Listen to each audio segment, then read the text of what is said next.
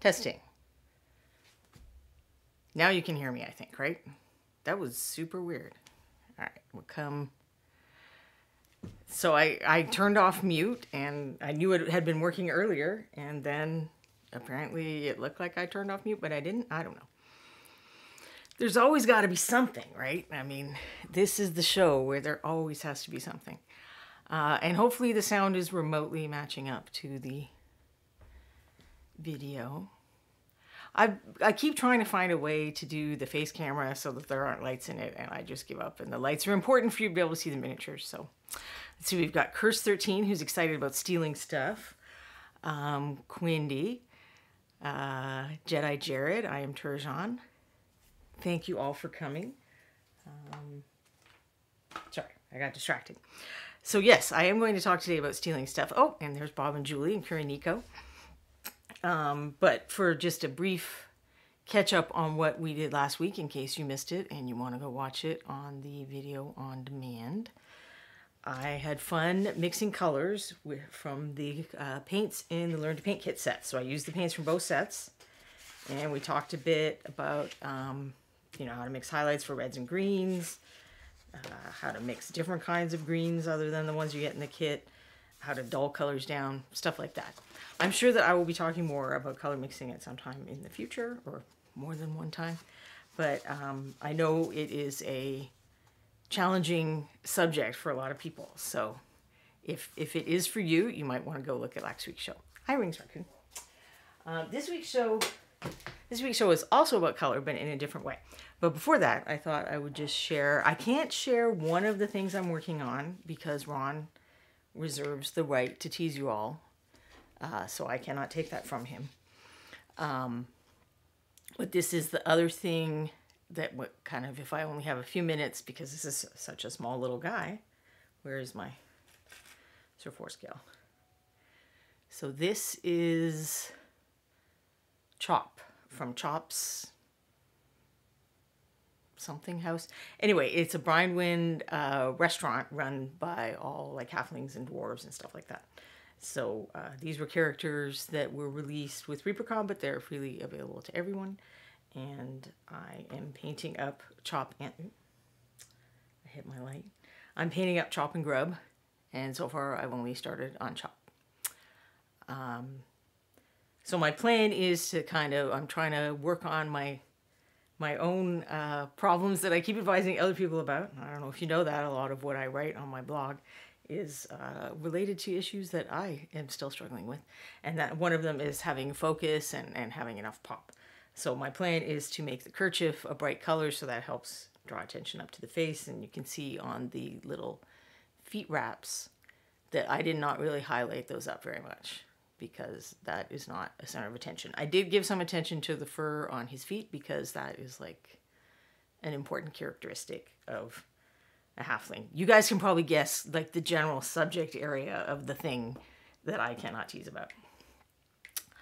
Um, given the time of year, you know, there's a big clue for you. Uh, let's see if I have anything else to show or talk about before we get started. Just giving people a chance to wander in. So it sounds like people got notifications this week because I know we had someone who didn't get a notification last week, and then when I looked at my own meal email after the show, I didn't get any um, notification either. So I don't know what happened last week, but there you go. Kuriniko, it might be something like Christmas. It might be. Um, all right, so I wanted to talk about color schemes because you know, give me give me a, a bird with a brush emoji in the chat if thinking of color schemes is sometimes very challenging for you and just pretend I put one in that I can have time to type from that because sometimes it is very challenging for me. And so where where can we get color schemes? And it's pretty obvious to think about taking them from miniatures. I've certainly seen um, people, you know, when I when there are paint jobs that are up in the store, I've seen people kind of do versions of those, and that's cool. I'm glad that people found them helpful. So I think we all already know to steal from each other. yes, that's true. You can put more emojis in the more horrible this part of painting is for you. So you can give it on a scale from slightly annoying to, oh my God, I hate this so much. Um, oh, and congratulations to Carrie Michael Cosby on uh, placing first in the um, Sugar Skull competition. I, I loved your entry. I loved so many of the entries. I mean, they were really great. Hi, Julia Trent. Wow, Nico really, really not loving the picking colors. Uh, so obviously one one way is to steal from other people's miniatures, and you guys already probably know that one, so I'm not going to get into that today. Although there is this concept of making a master study where you try to like copy, like you don't just take the colors, you try to copy what the other person did. That is something worth talking about, but that's for another day.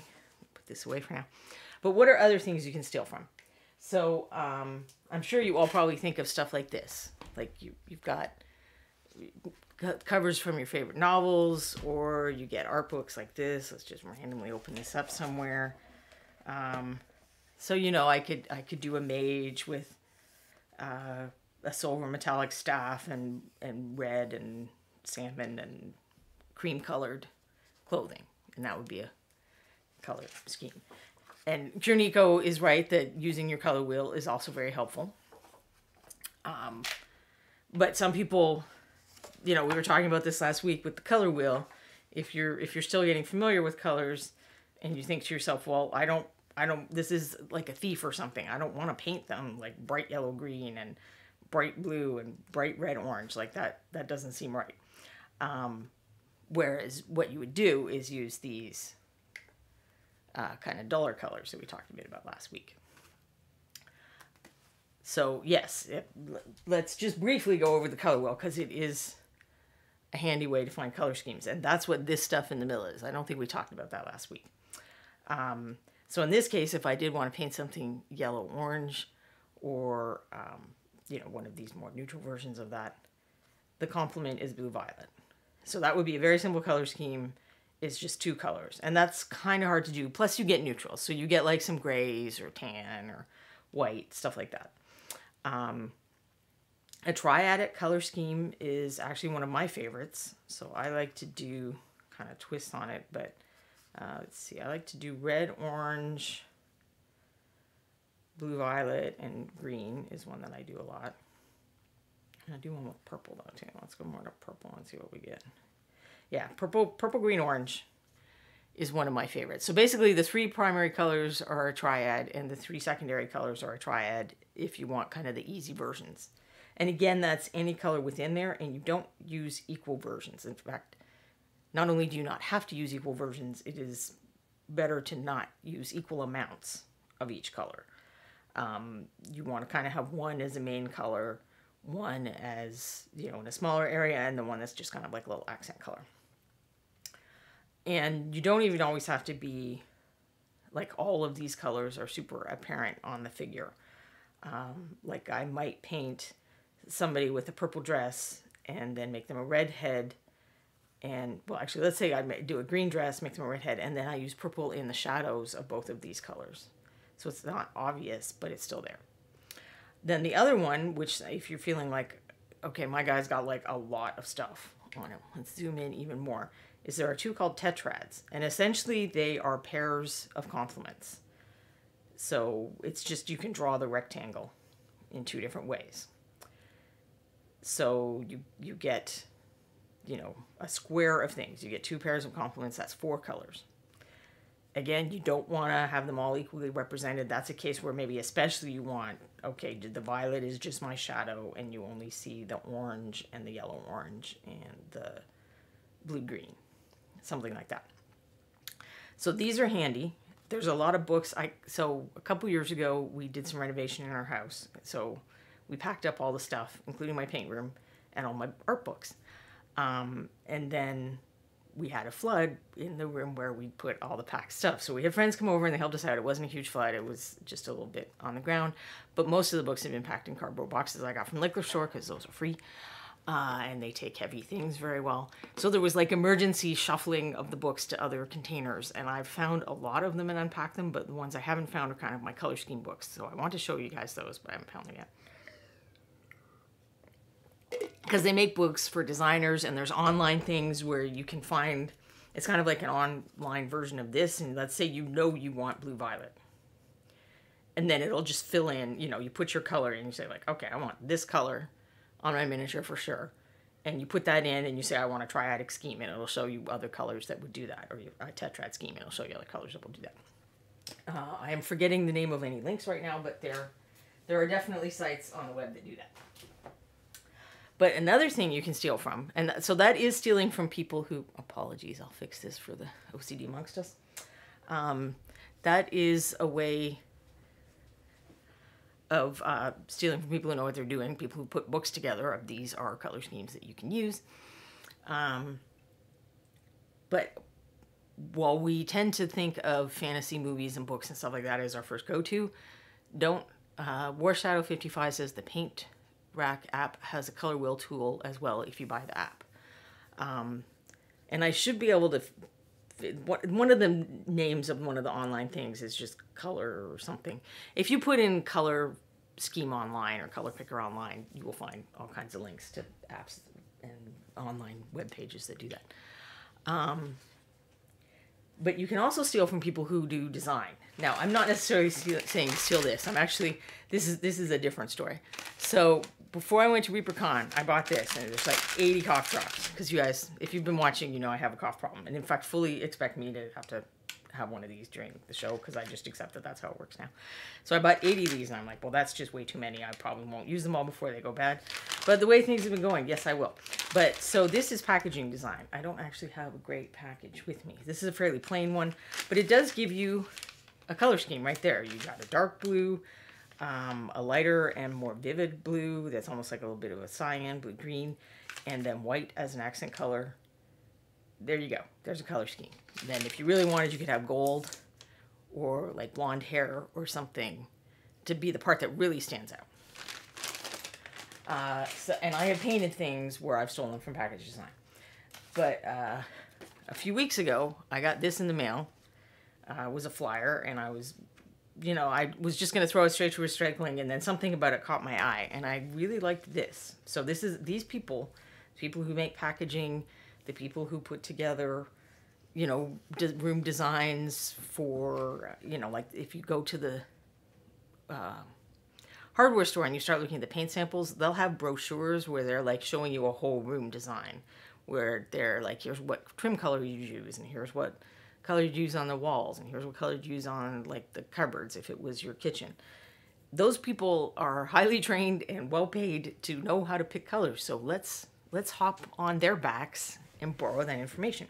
And I thought this was a really nice version of like a fall autumn feeling color scheme that wasn't just, you know, rusty red, yellow, oranges, like all those colors we the, the colors that leaves are that are very commonly what we will jump to for an autumn color scheme. So it does it does have like the orange, but it has some other things that kind of mix it up. And I liked that idea and I thought, well, what if we did what if I paint a figure on the show using these, but I'm also going to kind of go through the process of okay, so I have this picture, but where do I go from here?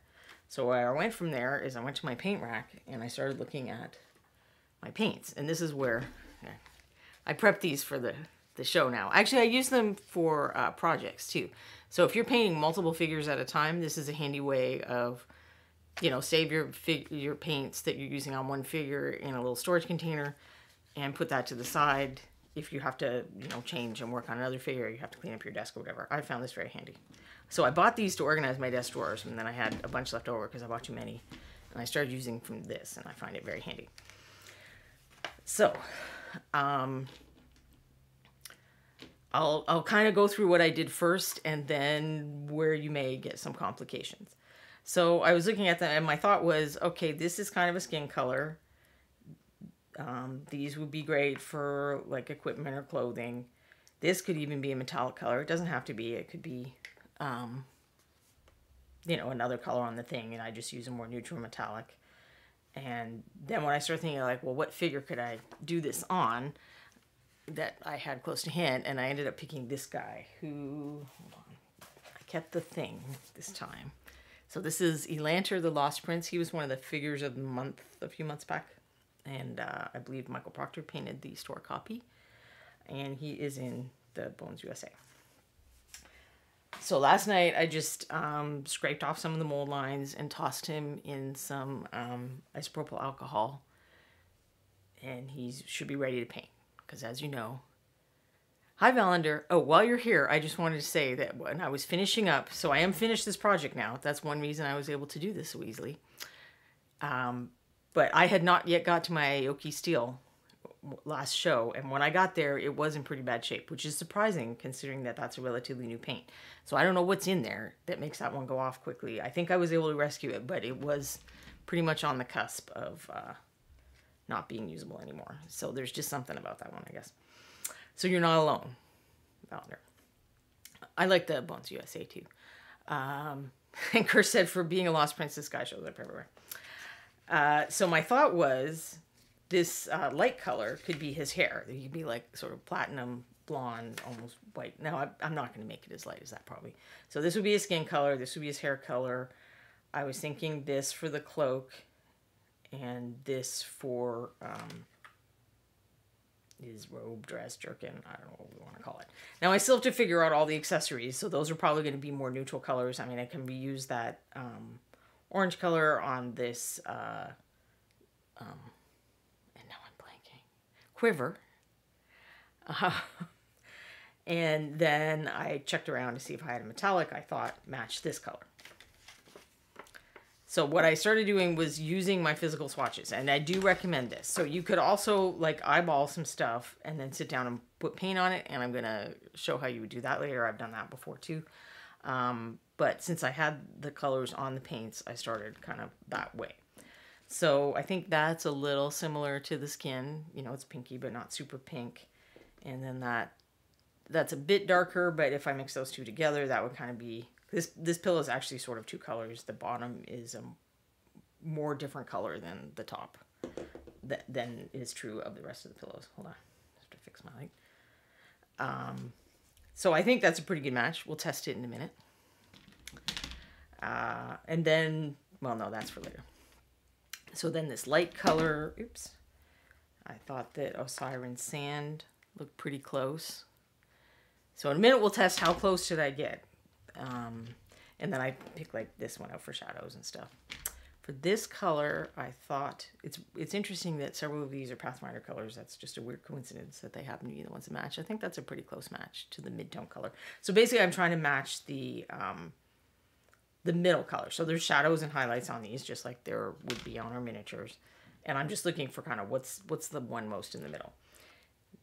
Pieces of Eight was one of the um, Leprechaun colors last year, I think. Uh, and I thought it might work pretty well. Now it's a bit darker than this. It's a bit more of the shadow colors. And I did forget to go get a highlight for that, but I doubt I'm going to get to the metallics today anyway. Um, and then for the green, my initial thought was Ancient Oak, although I think it's a little duller. And then uh, I realized I didn't have Elven Green on my shelf when I first looked. And I don't know if that's a little too saturated, but I figure if I mix those two together, that's probably that. So to really test that, I would apply paints on here. Now I only have one of these um, pictures because they only sent me one catalog and that's the only part I kept. But uh, I also want to talk about if you're looking for stuff online. So online pictures look different.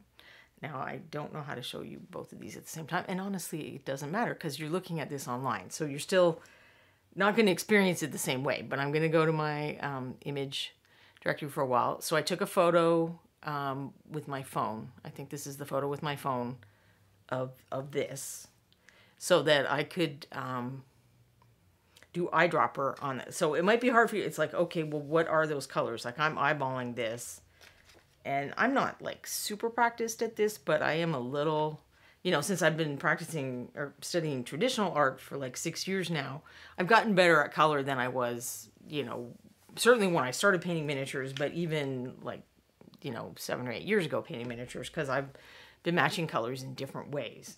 So I'm like not the best. I'm not Anne who can probably you know, you could probably show her this this uh, flyer, and she would get those exact colors and be able to mix them just from basic colors. I'm not I'm not there yet, but I'm getting a little better. But maybe you're not. Maybe you're where I was some years ago. Uh, so what you can do that's very helpful is use a computer program with the, so you get an eyedropper and you go over like so the column on the far left that was me going over like the lightest section of each spot on the pillows. And then the two in the middle are, I go over the um, midtones. I try to find some of the midtones. And for those, I generally do look at a couple of different spots because the lighting can make a difference. You can see it in some of these, you know, the, the silver pillow. There's not a lot of difference between the two midtones. There's a little more difference on the bottom half of the skin colored pillow. Um, and you may also see something interesting in that, so that pillow that I said was yellow, when you pull the colors out, it's not yellow. And I assume that's because of the situation where color is relative. And this is where you may have run into trouble when you've tried to steal color schemes before. The colors around things are always going to affect your perception of individual colors, even if you know what you're doing, or even halfway know what you're doing, the way I do. So I got that wrong. I mean, I picked out tans and yellows, and when I color dropped it, it was green. So then I thought to myself, well, is the color on my phone off? should I try doing a scan instead? Because I think my scanner is pretty close to true color. People are stealing to, saying in the chat to uh, steal color schemes from colorful sea slugs and uh, mantis shrimps. Yeah, you will get a very you will get a very colorful figure with mantis shrimps. Valander says I would only pick mantis shrimps if I wanted to use every one of the 260 Reaper paints I own.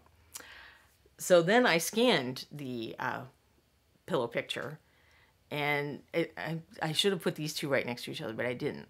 Well, okay, there you can see. So if you look at the ground under the pillows, see it looks kind of gray there, and then it looks more white there, which is truer to the advertisement. So I think this is a truer color version of the colors. But interestingly, some of the um, colors I picked are closer to the way my camera saw it. I don't know. But then I did the color picker thing here and I'm going to show you the comparison of the two.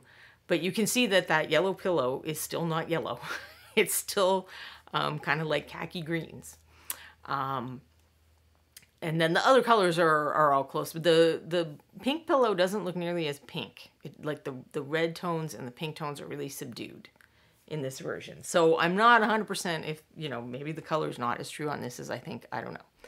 But then I pulled off just the samples. So in each section, the top row is this the color sampled from the picture I took with my uh, phone, and the bottom row is sampled from the pictures I scanned on a scanner.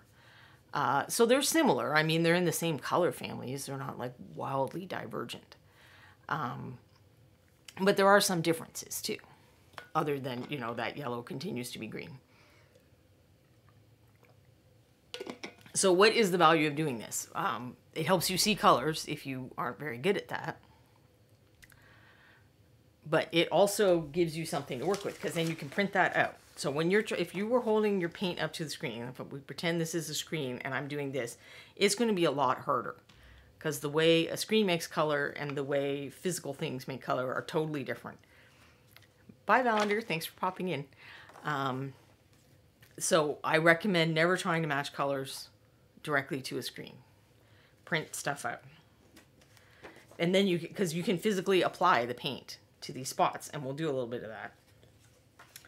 Um, so this is the one off my phone, and this is the one that I scanned, and this is the combo.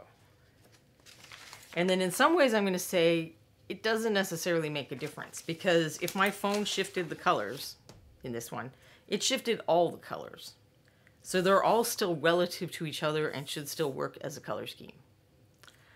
Uh, and the same thing here. If my if my printer scanner wasn't as precise as I thought it was, and some of the colors are different, they're all going to be the color cast is going to be shifted all in the same way. So it should still be fine to use. Like I don't have to sweat this that much. So that's the first thing is like use this as a guideline, but don't like stress yourself out about whether you can exactly match the colors. And I don't know that I did. But what would be important to me, I'll test some of them, but what would be important to me is does it work as a color scheme? So here, I'll get my get my thing back and put them in the same order. Maybe we'll go to slightly different order. So if I put these paints out that I said these are the midtones. And there's the pieces of eight. well, and I was kind of in between these. But yeah, see that that almost looks too intense. Um, and we'll zoom in a little. Do these colors look like they go together? Because in the end, that's that's still a color scheme that works. The other question I would ask is, do I have a range of values? So if I turned this to, to um, black and white, which as you know, we can do with this camera. So I'll go ahead and do that in a minute. And I think we do. This is a fairly dark color and I'm actually planning on making it a little darker because it's not quite dark enough. So I would add this in or I would add blue liner in probably. So this, this isn't quite, this is a little lighter than the midtone I want. This is a little lighter than the midtone I want. But um, this may be even a little lighter than the midtone I want. But let's do the test because you need to have some darker color and some lighter color to be able to separate the value or to separate the um, areas on your figure so that it's readable. And if that doesn't make sense, then go look for the episodes where I was like critiquing a blacksmith and a bugbear and then repainting them. And I talk about that a lot more there. So I think we got it. This is very light. This is kind of light, medium. And then if I darken this up a little, this is darker, and then this one is also kind of medium dark. Hey, Albiva Zane. Um, so that's one thing to look for.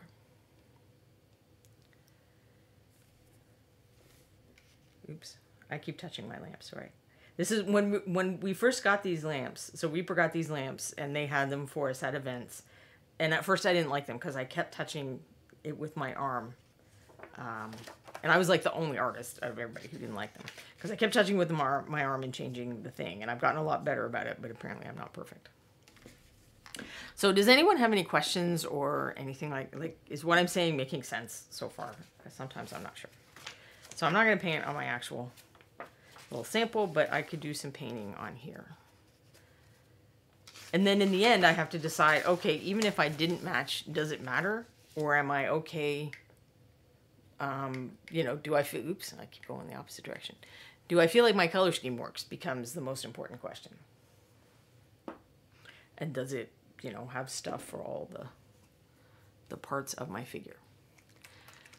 Uh, Warshadow 55 asks, how do you keep a mix of paints from graying out? So are you talking about, you know, if I wanted to mix a shadow from this and then it gets grayer, or I wanted to mix a highlight from this and then it gets grayer? Or are you're talking about more if I'm trying to mix this orange, but I keep getting something that seems grayer when I'm using red and yellow. I am Turjon is full of ideas for an art heist. Wow, okay. Um, so I would probably, you know, for just general testing of color schemes, I would probably try to use like a neutral thing like this because if I put you know, just this. So we, we identified this as one of the, the middle colors. Well, this orange, I guess.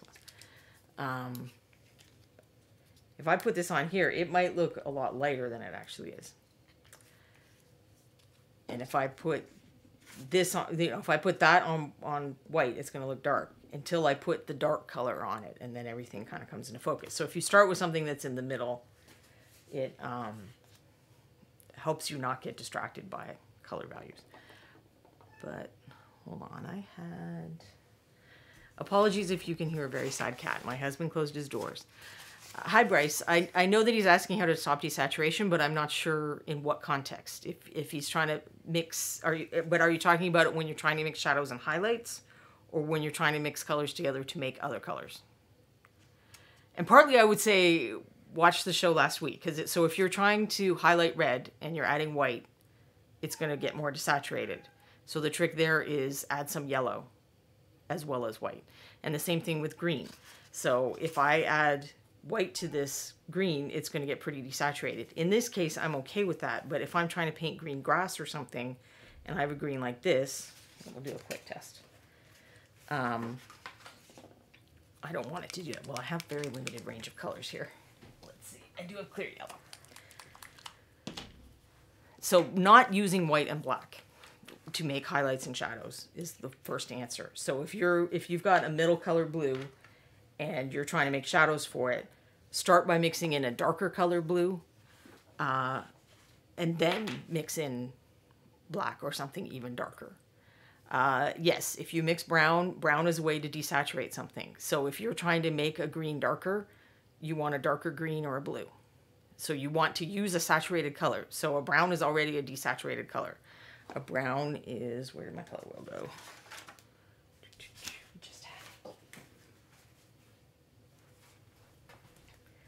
So a brown is a desaturated version of either red, orange, or yellow as a rule. Well, uh, here, if I turn around this way, you can see all of those colors at once. So if you, so what these are, and we talked about this last week too. So if after this show you want to go watch the video on demand from last week, which I think was November 8, um, it explains this in more depth. But if you look very closely at one of these color wheels, you will see them talk about a shade, tone, and a tint. So a tint is what happens if I add white to the color. A tone is what happens if I add gray to a color. And a shade is what happens if I add black to a color. In every single case, it desaturates it. Generally, when you add anything to a color, you're going to desaturate it a little. Um, I mean, unless it's a desaturated color, you're adding a saturated color. But what you what you're aiming for is desaturating it less. So black, white, and gray automatically kill colors a little. Um, adding the complement also dulls the color down. It often does it in a more attractive way. So you could try, if you had your bright green and you're trying to make a darker version, try adding a little bit of red to it and see if that makes a more attractive color. Um, but what I really say is add a darker green and then to make your very darkest shadows, add something you know, like black or I like blue liner a lot, especially with colors like green because it's got that little bit of blue in it, so it helps keep it from getting totally dark. Um, you can try adding purple even. Uh, use use more pure colors, more saturated colors to do your thing. So this, oh, let's use this green because this is, it's dark, but it is a fairly saturated green and I'll do a couple of different ones. And then that's, see, I don't have a light green handy, I don't think. At least not, I only have transparent colors at my desk, so I just have the color. Wait, you know what? Maybe I do have light green. Yeah, I have jade green. So I'll try that one too. This is already, so this is a green that has some white in it. So if you look at, and the reason I'm not using this color is because it's that transparent out of the bottle. So this is a color like this that somebody added white to. Um, so it's already desaturated. And that may be some of the problem you're having if you're starting off with colors that aren't very pure in the first place. So I'm going to add just yellow to this one, yellow and white to that one, and just white to this one. I'll add a little more green to this because I added more bits of highlight.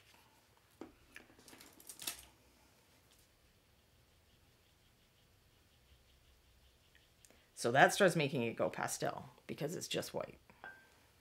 And pastel is a version of desaturation. This is a much more vivid green because I added yellow instead. Sorry, I forget I have to tip the but the yellow wasn't as powerful, so it's not as lighter in color. So I'm going to add another drop of yellow. White and black also tend to be more powerful than um, more saturated colors, so you often have to add less to make your shadows and highlights. So you can see how different those are, starting with the same color. Um, and now let's try it with both, because maybe you don't want your green to turn to yellow.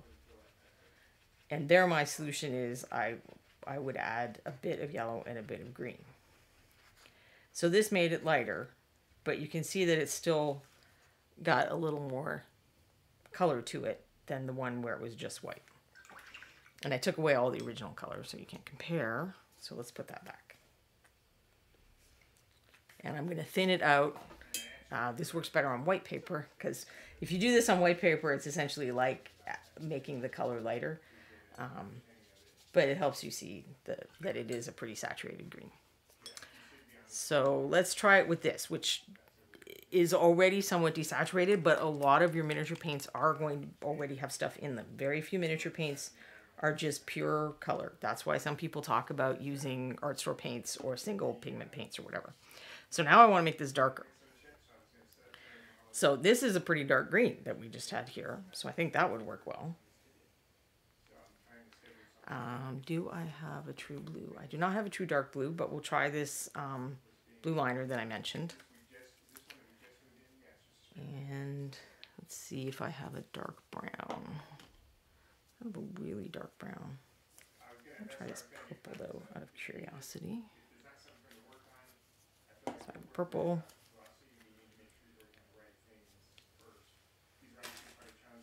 Trying to see if I have any kind of dark brown here. Let me see my spares that I brought out for different purposes. Nope, none of those are dark brown. So I can, I'll try this with a middle brown. Um, it's not gonna probably be as dark as what you were trying to use, but we'll give it a shot. Wow, this really wants to be stuck. And it hasn't been that long since I've used Nightshade Purple. Seriously. All right, we're gonna, since the, the crow's nest pokey tool is a little longer. Nope. All right, now I'm gonna risk my shirt because this is when I have problems. So there, the paint is caked up in the uh, thing, and it's possible that the little agitator is up in there. And this is, it's too bad it's such a dark paint to see, but you can see it's kind of level with the lip there. This will happen sometimes and you won't realize and the paint will thicken up in there even while the rest of your paint is fine. So every now and then you have to do maintenance on your paints and check for that and whether you need to add water and stuff. Which is a process I just recently completed and I thought I had done on this paint. I am to add a little bit of water. And then you need to shake it well, so I'm going to briefly turn off the sound so you don't hear my uh, mechanical agitator. I'll do it the old-fashioned way first.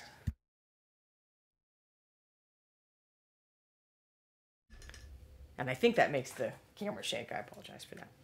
All right, there we go. Finally got some out of that. Although I think that was maybe... No, it's, I don't think it's that much more than the others.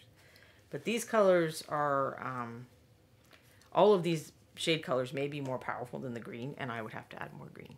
But let's try the darkest brown I have is black and brown.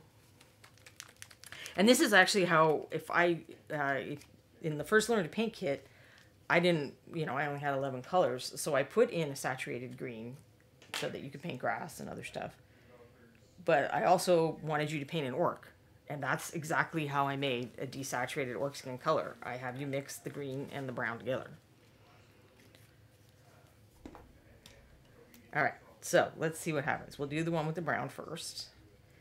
And especially a brown that's kind of a reddish brown, that is really going to start killing the green because red is the complement of green. And that's, uh, if you mix two color complements together, that's how you desaturate it. That one's even almost grayed out because there's some white in there. Price said that's a very, very clever pokey tool. Yes, I always have to do that just in case uh, Michael is watching, he would be so sad if I didn't use the crow's nest pokey tool. I actually have one pokey tool that I think I wore out and the pin is starting to come out. So this was with the purple, which it turns into like a, a weird gray color a little bit. Well, not gray exactly, but it's still got a little more going on. Now that was a, it, that was a desaturated purple. If I did this with a vivid purple, it would work even better. Um, but I don't think I I think I need to just start keeping a um, stock of standard paints near this desk for when people ask me questions I didn't prepare for. So I'm not sure that got dark enough, so I'm just going to make it a little darker. And you can see it's more of a dark green. It's not as rich as that, but it, it's definitely richer than these two. And then finally, I'll use the darker green and it should be richer again. And definitely I'm going to need some dark, more darker green.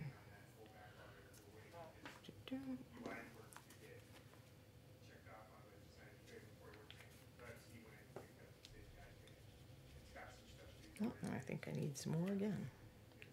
So this goes back to something else we talked about last week and that I've mentioned before that is kind of a thing that miniature painters don't think about. A lot of people seem to come from scientific backgrounds or other things where we're used to formula and stuff like that. Uh, pigment doesn't work that way. So some pigments are just stronger than others. Yellow is a very weak pigment. If I wanted to mix a blue and a yellow together to make green, I'm going to have to use like four or five drops of yellow to one drop of blue. So it has what we call weak tinting strength. So in all of those cases, you can see that it's darker, but it's it's definitely more vivid than using the brown. Um, and whether you know maybe you don't want it to shift blue and you'd rather just use a dark green that's when you make those decisions. But let's see war shadow said i did a limited paint challenge with four colors but had to use a fifth color with the green and the brown. So with a limited paint scheme that's going to happen. There are going to be colors you cannot make. Um, there's a couple of schemes where you can kind of cheat it a little. So if you use you have four colors and you use red blue and a yellow you're going to get closer than than with other things um, you're still not going to be able to make everything because even if you had like a true saturated red and a true saturated yellow and a true saturated blue, there are going to be colors you can't make. Um, and I'll give you an example of that. So this is a very saturated red. This is very saturated yellow. This is very saturated green. These are in fact the closest to pure colors. These, I mean, they they pretty much are pure colors that Reaper sells. The reason they call them clear is because they're transparent, and that's one of those things that's the nature of pigments.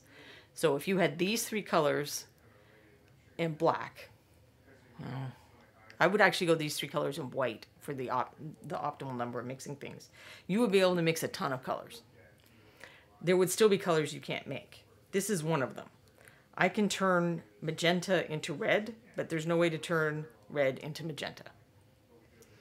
Um, we didn't talk too much. We, we talked about it a little bit. Is using a split primary palette if you want to have a limited color scheme or a limited color palette that's like you have only 12 paints that you take with you traveling or whatever. Um, I will probably do that in another show. I bet Anne talks about this all the time. She talks about these clears all the time too.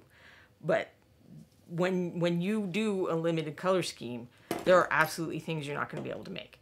But everything you make is going to go together. If you have only four colors, you're mixing colors together to make other colors, all of those colors are going to go together.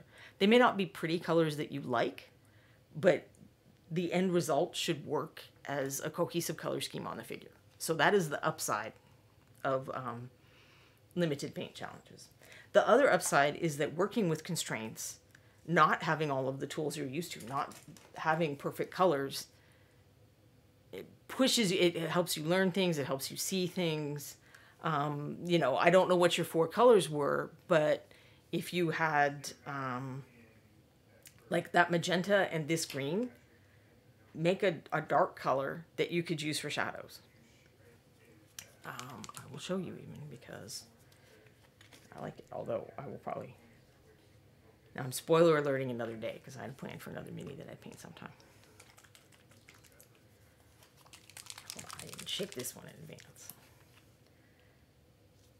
And because of that whole tinting strength thing, I'm not going to apply these together right away. So I'm going to start with the magenta because I know that's going to be the less strong color. And I'll just bring in some of this green. And it's going to, like, it's not black, but it's pretty close to black. That's why I was saying I would probably skip black and take white. If I could have three colors, I'm going to want to have white. Um, in fact, it looks black on the screen, but let's thin it out some and you'll see that it's not black. But it would work. So let's mix that with this green now and see what happens.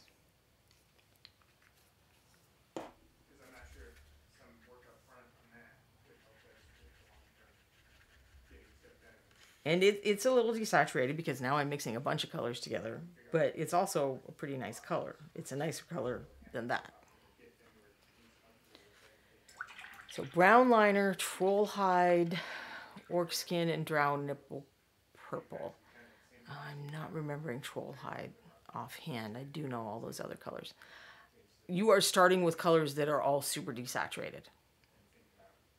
Um, there's no way to mix those colors and not make things more desaturated. You're probably ending up with something, it's not a monochromatic scheme, but it's a very desaturated color scheme, which you can do cool things with. So what you would have to do is push value. The most important thing would be to use different values over your figure to distinguish things and then also push uh, textures is another way to, um, so drown apple purple was your lightest, no, which one was your lightest color? You need a light color too. Um, but yeah, so you were starting out with all desaturated colors. So they're only going to get more and more desaturated. So the other thing we talked about last week, you know, the tint and the tone thing, all of the colors you picked already have white, gray, or black in them. Um, so then what color is orc skin wings raccoon? Maybe I'm, is orc skin like a, a tan, yellowy brown? Or is that another green? Um, but yeah, that's the, where you ended up problems. You didn't have a light color, and those are all desaturated colors, which is, you can work with that. You can do some interesting things with that, but you can't go in expecting to get um, saturated colors out of it.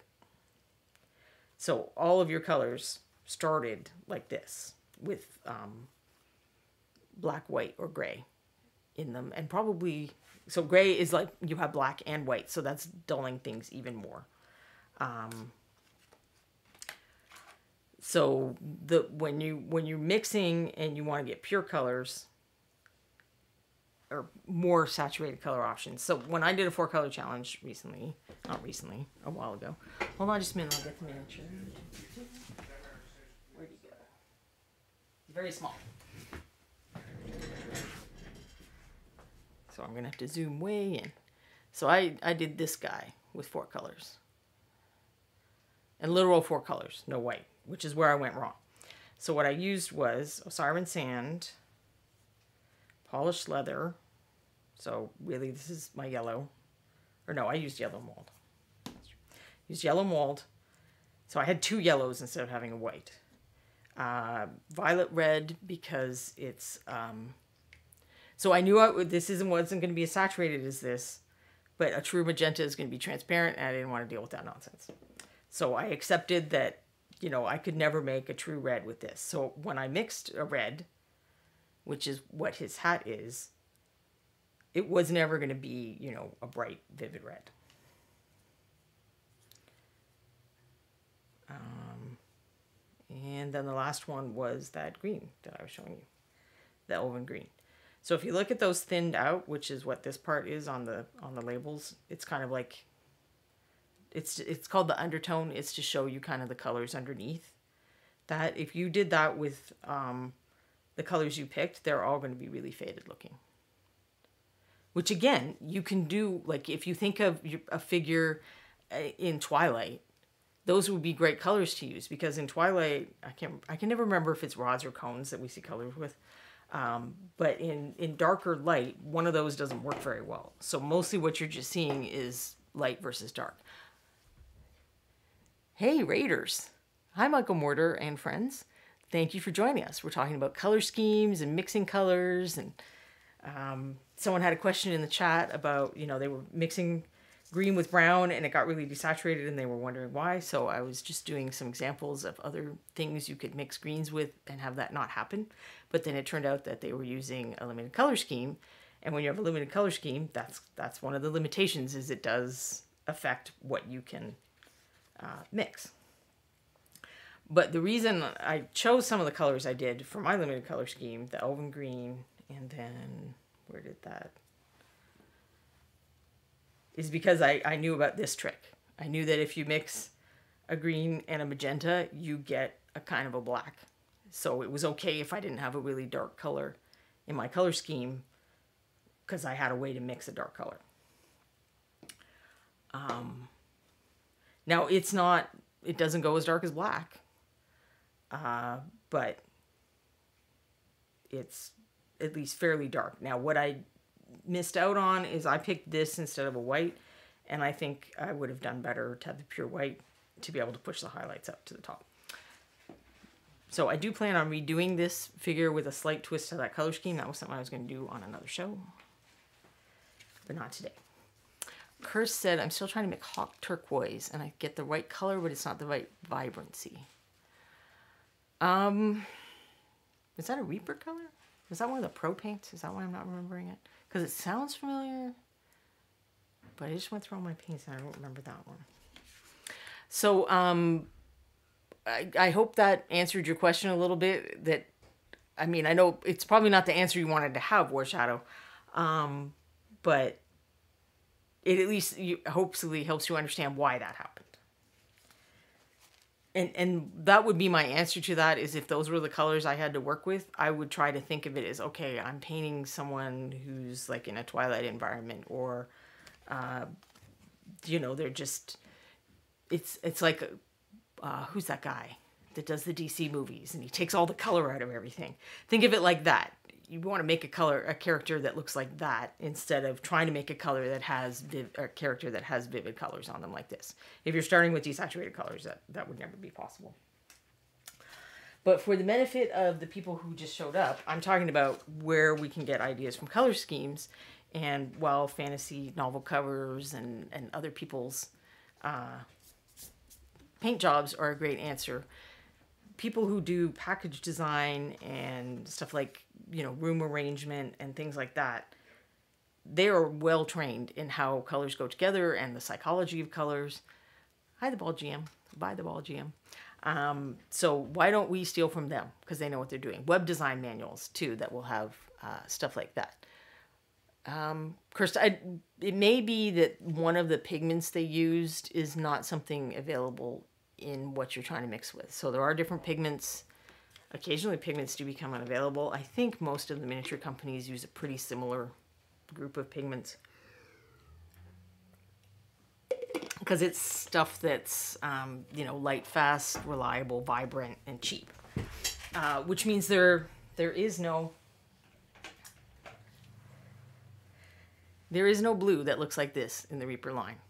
I went through every single blue. It's not there and that is because all of the blues are mixed with um, and you can't get there from here. Um, and that's probably because this is ultramarine blue, which isn't a super expensive pigment, but it's definitely more expensive than phthalo.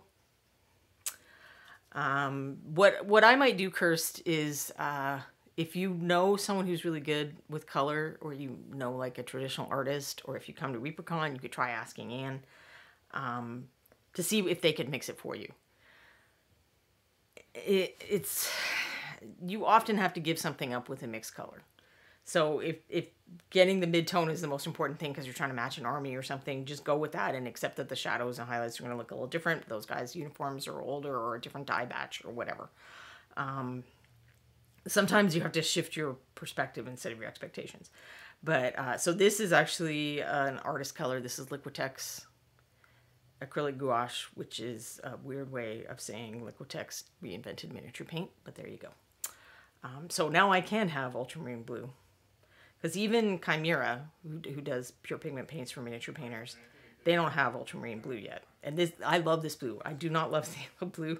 I tend not to like blues derived from phthalo. There are some um, less saturated blues and stuff that I like, all right. But this is the blue that makes my heart sing, and this is not. So to have access to this, which granted I haven't really used on miniatures yet because I try to use stuff that you guys can get access to, but I'm sure that I will. So anyway, to go back to what we were originally talking about, is me trying to copy this color scheme. And I had picked out a series of paints that I have now terribly disarranged. So we'll see if I can figure out what I was doing. Um, and then we were discovering that my eyeballing, even though I have my little swatch things, maybe wasn't 100% correct. So for the benefit of the people who came in later, I'll just put my slideshow up very briefly. Oh, Quindy, it's next month because they teased ultramarine. So Quindy says that Kimera is coming out with a set that has ultramarine in it next month. They teased it like months ago, and I, I was like, if you can give me PB29, bring it. That's what I want out of life. All right, so here I took a, a picture with my cell phone of this, and then I went to, um, so I have Procreate on my iPad. There are other programs too. I was trying to figure out free ways to tell you to do this. The best free way that I know of, or the one that I can feel confident recommending, is something called GIMP, You can get it for um, Mac or PC. It is as complicated as Photoshop though, but all you need to do this is to find the little thing that looks like an eyedropper and then you use, you click that and you put it over the section of the, the picture that you want to sample the color from. You click and then you get the paintbrush thing and you go over to the side and you do a little swatch, a little circle or something like what I did here with the paintbrush. So you don't have to learn all of the stuff of Photoshop. It's just, I, I was trying to figure out, like probably the, the program that comes with, is it Paint that comes with PCs? I switched from a PC to a Mac like three years ago, so I no longer remember anything. uh, but there there are easy ways to do this, and I'm sure that there are ways to do it on your phone. I just I also have an iPhone and I have Procreate on that, so I I'm not that familiar with all of these um, different options. But there are options, there are free options to do this, and this is if you have trouble eyeballing this and saying, "Well, I don't do this one." The other thing you can do is is try stuff. So you you will have to paint out physical samples of your paint. Like this will kind of work oh, hold on. I, do, I gotta switch back now. So doing this kind of works, but it's better if you have that. So this is the color I thought matched better. But what if I wasn't sure? I could just get some various options. So I could just get some different skin colors and go, okay, is it that one? Is it that one? Oh, that's way pinker. Nope, that's not it. Is it this one? No, that's way browner. That's not it. The skin color is maybe not the best one to, to try it on. So let's try it on this orangey rusty red. And I said rusty red, and I put that there, but that's a little too red. Rusty red. Whereas this um, Numeria rust that I picked, that matches better. So it sometimes helps to get like a bunch of a thing and do it you know, clearly that's not it. That is way too yellow. So if you have trouble visualizing color, like give yourself more options to compare with instead of just expecting to, you know, look at this and then go over to your shelf and you're not even comparing. Uh, Quindy says the Kimera set is awesome. Every single color is gorgeous. They showed it off on the Monte San Sabino live stream on Saturday with live swatches. Uh, where where might we watch that, Quindy, if we too wanted to see the awesome colors? Uh, I am Turjan. I have a game color ultramarine blue from Vallejo. Reaper makes an art ultramarine blue. It is not ultramarine blue. Um, I didn't bring it with me to demonstrate that, but so the thing about colors and pigments is they're two different things. So when I said ultramarine blue, what I really meant was PB29, which is pigment blue 29. That is the color that makes my heart sing. I could make this paint and call it ultramarine blue if I wanted to. There is no law against this. There's no other reason that would stop me other than why would I torture consumers by calling this ultramarine blue? But I could. So what there is a law about is if you do label the pigments on on your paints, you have to say what's really in. You know, you have to use the real pigments. Um, I don't know if you have to use all of them, but I think you probably there's stuff that's not pigment that you can mess with stuff. But if they're gonna go ahead and put these on here, this is what you use. It doesn't matter what the name is. Um, which is another reason people who like pure paints like pure paints. But when it comes to miniatures, I don't care. Uh, Carrie Michael Cosby loves Procreate, and I too love Procreate. Um, Procreate is awesome. So I was, when you after you do your dropper thing, you will have it on a screen. A screen is not useful to compare. You know, I'm doing it again.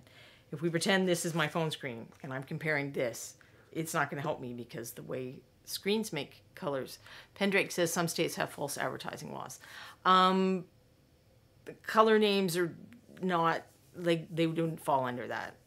Uh, most art companies, you see, even fine art companies, you'll find some that will say this is cadmium orange hue. Hue at least tells you that it's not really cadmium orange, so they will try to do stuff like that. In that case, they're doing it because they know people are afraid of cadmium orange. So they want to say you get the cool color of cadmium orange without the dangerous properties of cadmium orange. But because we just use color names in everyday life, it's it doesn't fall under advertising. If you told me that that was pure ultramarine blue and you put PB29 on it and then you didn't use PB29 to make it, that would be false advertising. Anyway, so print out your swatches instead of trying to match against a screen.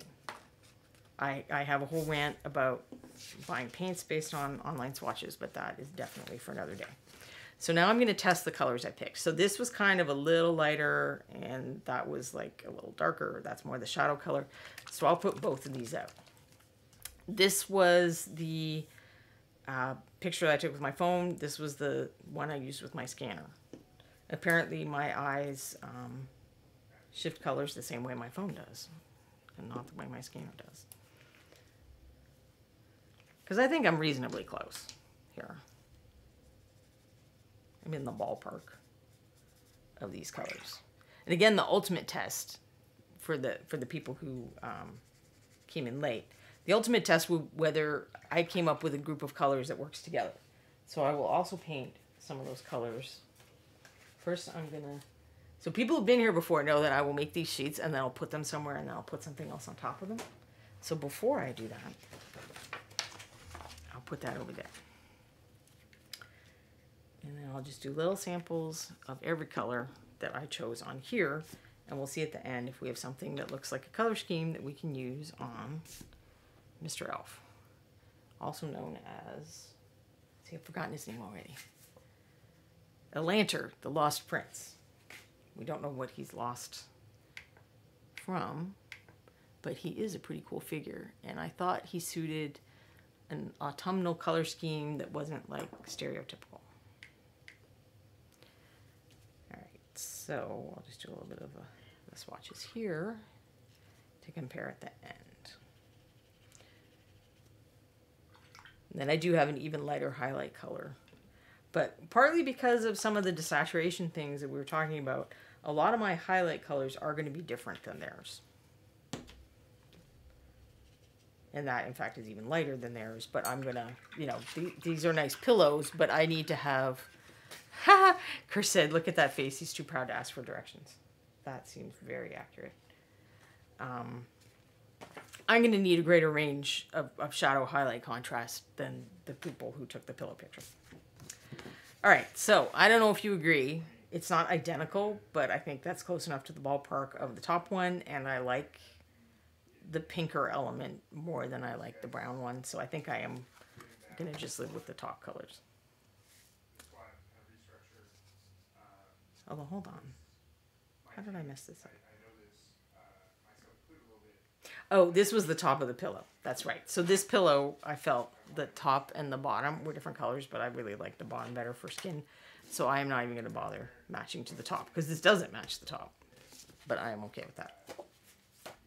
All right, so let's go to the orange pillow, which is that one, which really I think was the easiest one to match visually.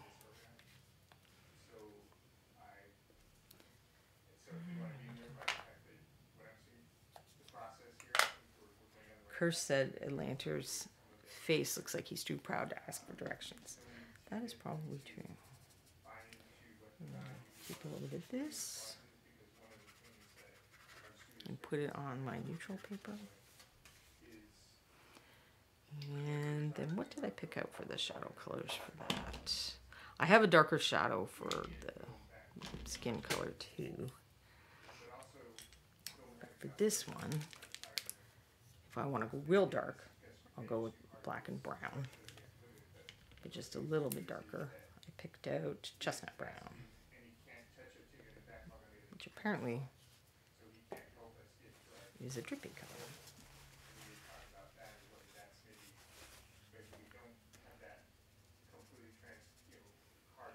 So it's not identical, I think it's pretty close. And the greens. So this is one where right before the show I saw a different green and I wasn't sure if it might be better. So I had picked out Ancient Oak, although I knew that was not quite dark enough. But then right before the show, I remembered that I had this Elven Green set off to the corner. But I think it's a little too saturated. But we'll try both of them. Quindy has posted the link to the um, live stream demonstrating the Kimera colors. Quindy is so wonderful with links. You are right, Kirst. Because I'll just randomly remember something off my blog where honestly it can take me five minutes to find a thing that I know is there. Um, and she goes and gets it right away. Despite my best attempts at having a table of contents one up. So now that I've got it on the paper, yeah, this this is a vivid green. And that's why I suggest the thinning it down. So, oops, thinning it down with maybe slightly less water than that. Because I don't think that Elven green works. Now, let's just quickly find out what happens if we mix them together. Because maybe that makes the perfect one.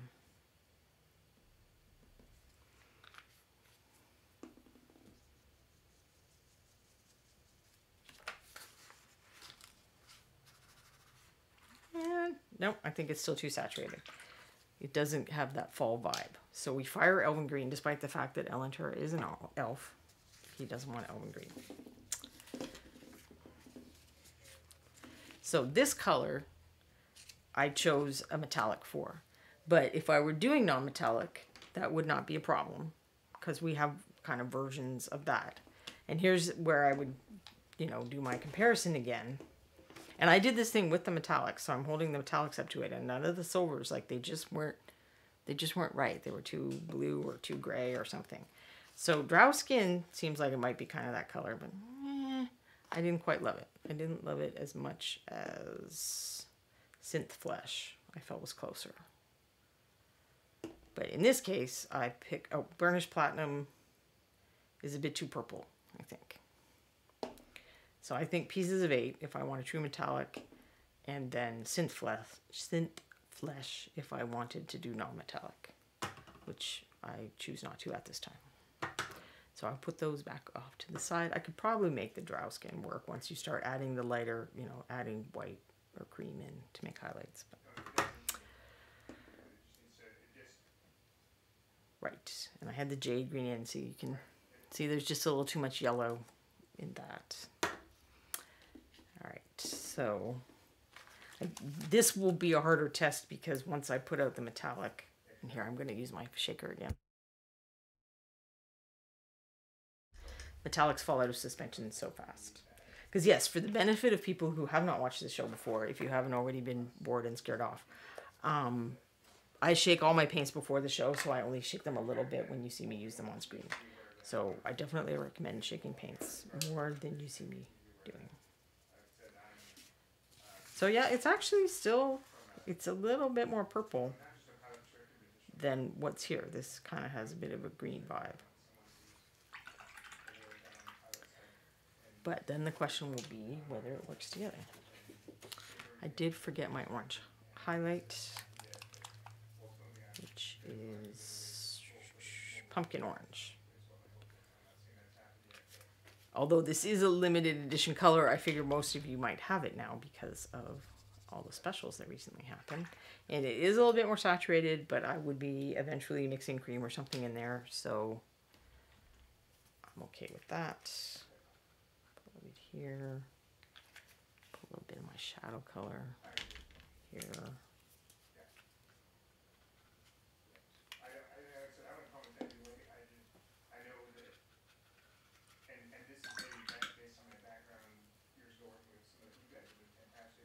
Maybe that is a little too orange. I don't know. I might have to dull it down before I add it as a highlight. And that's why I'm doing this test. And this is taking me longer than it would take me to do if I was just doing this for myself because I'm talking you guys through it and I'm testing different things and stuff. If you want to try this yourself, it is not going to be this horrible. I promise. Um, I did not put the green on. But it's... Uh, so what did I hear another artist saying recently? Failing to plan is planning to fail. So this stuff that you do ahead of time when you do color tests or um, you know maybe when I've been testing those dry brushes, those shows when I've been testing using different wash colors. Those th- are things that to me a few years ago would have felt like a waste of time. but now I tend to think of them as as learning tools, as ways of making less mistakes on the miniatures when I'm painting them. So if I can make fewer mistakes on the miniatures and not have to do repainting and eventually get quicker. So here I am using an out of print color because I love Miss Green. I don't know why it went away and I feel like it's the perfect highlight for this. But I do have another color that I picked out too, which is another Pathfinder color, Bogart Green. But I'm concerned that if I mix that directly into the um, Ancient Oak, it'll it will desaturate. It'll start to white out because there's a lot of white in Boggart Green very clearly.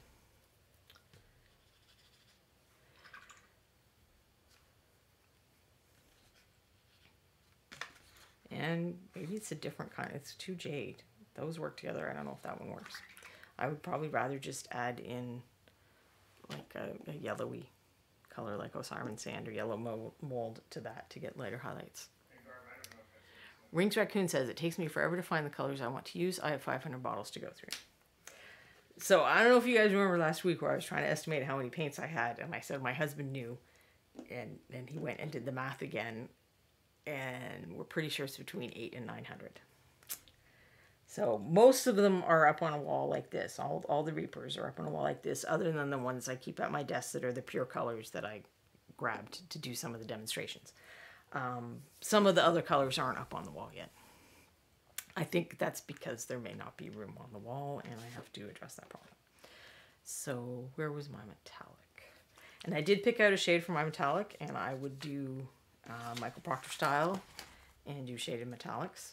I did not pick out a highlight for my metallic, which I need to do, but that since I like to paint things that are on the edges of the miniature um, near the end of the process, I'm not overly concerned about having my metallic highlight to hand right now. I am, I do think that pieces of eight might not be fully mixed. That looks watery to me. Whereas it does not look watery there. So I think the color looks too purple because even though I just did this, this is metallics are the worst for this. So when I'm really worried about there being sludge at the bottom, I use an old paint handle. Yes, so it's clumped. Even though I did this one I mean, I didn't do it, you know, in the past month or two, but I did it when we were swatching um, the ReaperCon colors. Like when I first did my shows about swatching. So it's been within six months that I um, did maintenance on this paint, and it already has fallen enough out of suspension that this is a problem. So since this is binder, like I don't always worry about this, but since it's binder, I'm going to put it back in. So that is why my color looked off on the um, other swatch. We'll see what it looks like now that the metallic flake is more mixed in. Again, I will be silencing for mixing.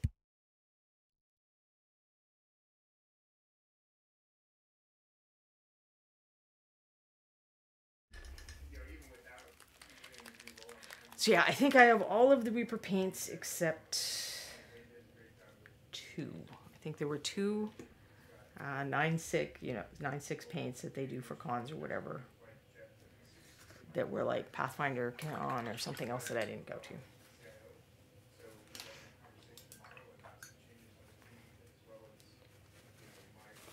So I am a legit Reaper fan girl, in case you were wondering. So what I chose to use as a shadow for this is a purple, but it's a pretty desaturated purple. But I felt like a straight gray. So yeah, that you can see the difference in the color once I mix the flake back in. Um, so let's put it on here. Wow. I'm glad I changed my shirt before the show because I am really bad about this. I have pink clothes because this kind of thing will happen. So it still does not match this. It's still a little purpley or whatever than this. It's closer to that one. But I then I have to go back to do I care because does my stuff go together? So I didn't bother with this one. This is where I went wrong on both versions. because I think this looks yellow. But all of my little dropper things are greeny yellows or yellowy greens, maybe. So I have to make a decision about whether whether I want to follow this or whether I want to follow my imagination. So I will test. This was the, I mean, this is a very light color, and I do want this to be, you know, if he was a platinum blonde or whatever, I want this to be prominent on his skin. I mean, his hair. But there's got to be some shadow colors. I mean, one of the things that makes hair look like hair is a fair amount of contrast. So I picked out some uh, darker colors. And this isn't the darkest one.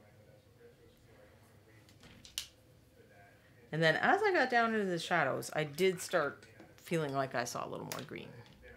So I picked out Uniform Brown, which is a brown that has a little bit of green in it, maybe. I don't know. But really there there's there are several Reaper colors that are this kind of, you know, faded khaki. So I could go get those. I don't feel like they sound like hair color though. So I have to test how much I care again because this really does not match. This does not match the design of the people here. This probably looks yellow in the picture because of these colors being around it. Um, but I'll do my other test of do I care. So if I put these yellow colors down here next to these, do I feel like it still is a pleasant thing to look at? Like, does it work harmoniously?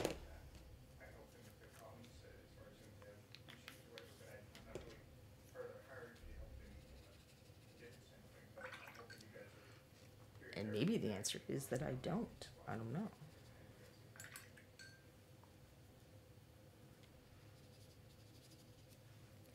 I think these work, that they're neutral enough that they work. I don't think this works at all. I think that I will have to find a different shadow color for the hair. And I actually, I thought I picked things that worked pretty well. I did have one more color I picked out, which is called Faded Khaki.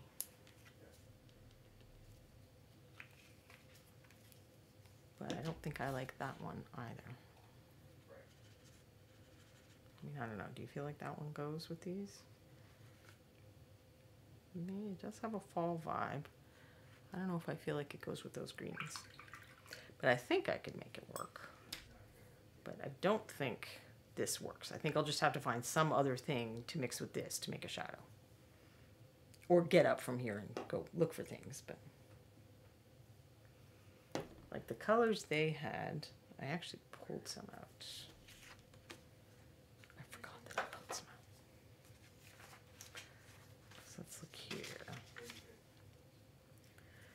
So this Medusa green matches theirs pretty well.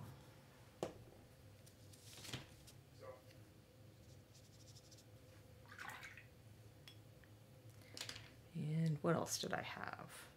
Bone Shadow seemed like it might fit the shadow colors.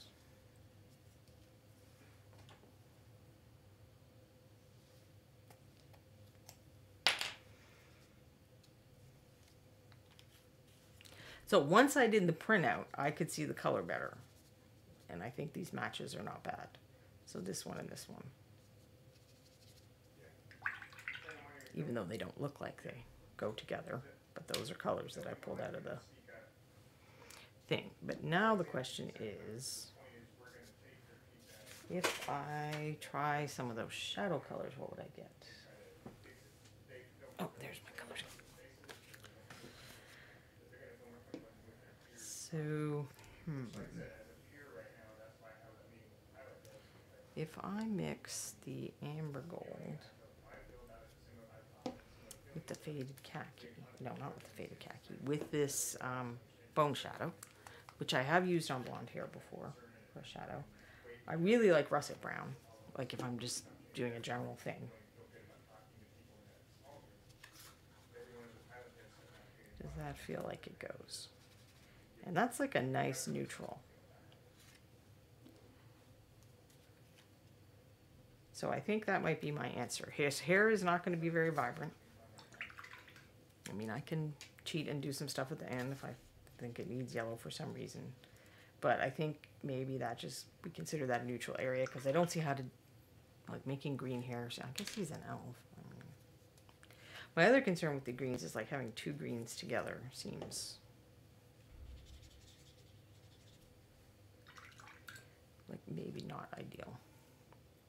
You know, as these are drying, I'm not in love with either of those greens, I don't think. Let's put that very precious out of print color on this piece of paper. Let's see. And I think it might be too vibrant. So I think that I'm in fact firing both Miss Green and Bogart Green. So here you go. I thought I had it all figured out and I would just be doing this for show for you guys. And I have learned some things. Like these are too vibrant for this, you know. If I take this away, things start being more harmonious again, I think. Even with uh, those colors that I, you know, the yellow colors that I mistakenly picked for the hair. So I think I probably can go back to these if I shift my green, if I make my greens duller. So the saturated or desaturated colors are not always bad. There are times, in fact, when you want desaturated colors. So if I use something like this Medusa green as the highlight, is that going to be more harmonious with these things? And I think that yes, it is. Are you guys like all bored to tears? This is probably the most boring thing I've ever done. But I, I sometimes when we make videos and we're trying to make fast peppy videos to show you how we do things, or I write articles or whatever, I feel like we're glossing over the stuff that people who kind of know a little more about what they're doing do that you guys maybe don't see. Like you think we just know color. Like you must be painting after a certain point or you're born with artistic talent and you just know color. And there may be people like that. Anne has a very good eye for color. She maybe started with an advantage. I did not. I was actually terrible at this in the beginning. I've gotten here by working, by being willing to do these tests, by studying color theory over and over again. Um, by being willing. I had one, the little Cthulhu um, chibi guys. So you know, last last month we were looking at some of the special edition um, chibi characters, and the Lou, I think I think they called him Lou, is uh, one of the ones that's available in Bones. I redid the shadow color on that guy four times, four different versions of desaturated purple before I found the one that looked right. Um, so I definitely am not just automatic at this stuff. Uh, and and sometimes you have to do stuff instead of painting the figure over and over again. This is probably a better way to do it than painting the figure over and over again. I think I am still gonna fire that and keep this for hair. I think platinum platinum blonde hair is very dull in color. So I think I have my final selection of colors. And I just have to remember what goes with what now. I had them all kind of organized by which pillow it was, went with. Um, that goes with that pillow. I've lost a lid down under my desk and I'll, I'll make you, I won't make you guys watch me try to flail under my desk. I will get that later. So I think I have my little tray of colors. And for those who weren't here before, I do recommend uh, project boxes. I've only recently started doing it. It's amazing how many things I've been painting forever. I only did this since I started doing this show because I was showing you guys swatches and then somebody said something about put it on the label and I put on the label and I'm like, well, that's a lot. But like this is this is wet palette sable brush level game changer for me, I think. Like I am so happy I did this. Now I have the amazing project of all of those paints I told you about, all 800 of those paints or whatever they're on the wall. They need to be rearranged to because now I can see the values more accurately. They need to be rearranged by value. So I have my little paper as a guide if I need it. Now we can start painting Mr. Elf. A lantern. See, now he's not lost. He has a map. He has a color map. So um, the next post I'm going to put on my vlog is not talking about color maps. I did one not long ago uh, about a digital way to do this kind of testing. Um, you still have to match the paints, but it's a digital way to figure out what do you want where on your figure. Uh, do these colors basically work together? But uh, the next one coming up is going to be about value mapping, figuring out which parts I want to be darker and lighter and how dark and light do I want the highlights and shadows to be. So that will be coming out soon when I finish editing it. Now I just have to get out my wet palette.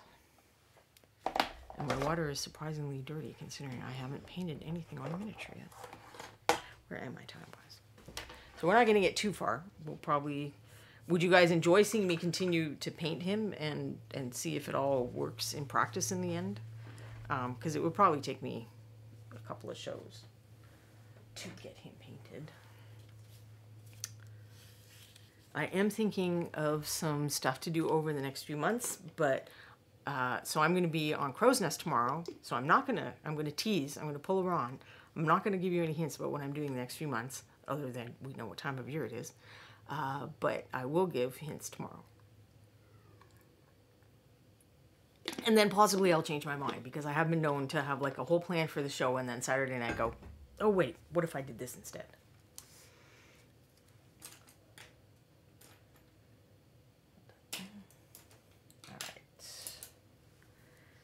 So, an inside-out approach we get to painting him. I think the first thing that has to get painted is the inside of this cloak. Because everything else is on top of it, and I'm probably not going to have to do that much to it. So I liked the idea of, you know, the, the pink, the pink pillow is his skin. The yellow pillow is his hair, the yellowy green pillow. Uh, I was thinking of this for his um, it's not a jerkin. Robe? Surcoat? I don't know. I need to learn all the words. This for the metallics and this for the cloak. So my thought with doing this for the cloak instead of the orangey one is his face is going to have some pink in it. If I put the green of that cloak next to it, that's those are complementary colors. Those draw attention. It will help make his face stand out. Then he's going to have that super pale hair coming over the darkest main color used and that will hopefully also help draw attention up here because I am very bad at getting my focus area. You know, you kind of want to paint unless you're telling a different story with the figure. There are sometimes there's specific stories you want to tell that would break this rule, but in in absence of any other uh, guiding principle, you kind of want to think like they're on a stage and this, the spotlight is centered right here, and then things kind of fade out as you get out here. So I did heat this up with a hair dryer right before the show.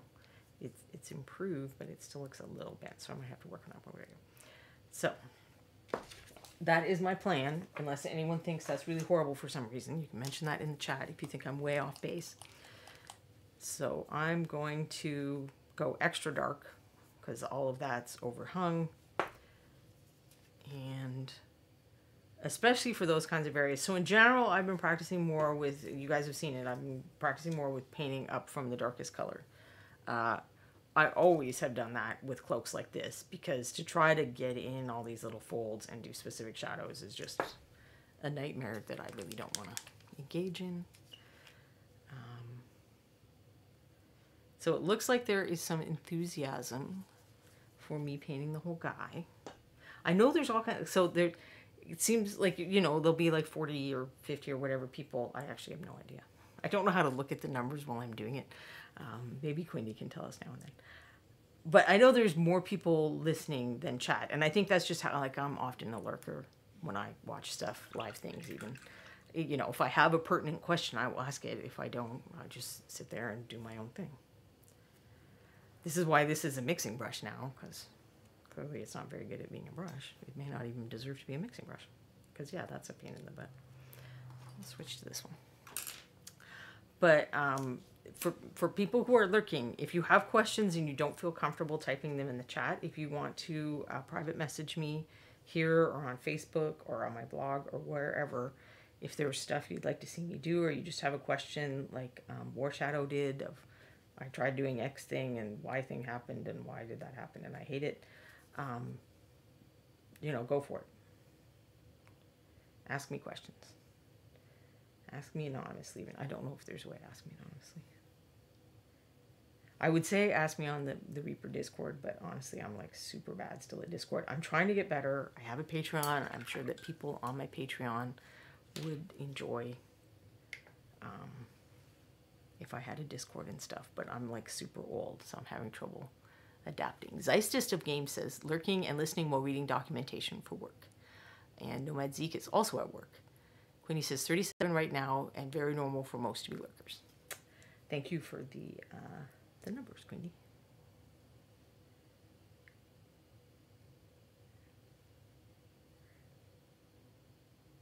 So this is one of those times when sometimes it's challenging to have figures on an integral base because how do I get into this crevice between his feet and the, the cloak? And in fact, while I'm here, so this is just straight blue liner, which I consider darker than black because blue is a cool color and it kind of recedes from your eyes. I use this as a shadow color on black. So I'm putting it all under this crevice thing um, and uh, I mean, I don't necessarily need to do it now, but I would put it there too. And that it's not a bad idea to look for spots like that, like spots you probably can't reach. Especially if you like priming in um, white or gray, which I typically prime in gray. Kind of the compromise prime. Um, and then I, I don't prime bones I really don't. I don't uh, engage in a lot of like I see conversations about that on the Reaper forums and stuff, and I and sometimes I look and I'm like, nope, I said everything that I have to say in that fact on the forums, and that Reaper sent out. Like I just can't, I can't keep having this argument because I used to try to argue with people and say like, okay, even if you have a fine time priming, don't tell everyone else that it's going to be okay because I think it's it's um, climate. I think it all depends on your climate, uh, and that people in drier climates are probably the ones who can spray prime bones successfully.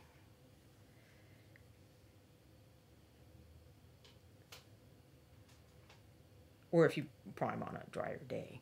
But I live in the land of humidity. I can't even spray prime metal miniatures most of the year. Uh, so I definitely brush prime a lot of things. All right.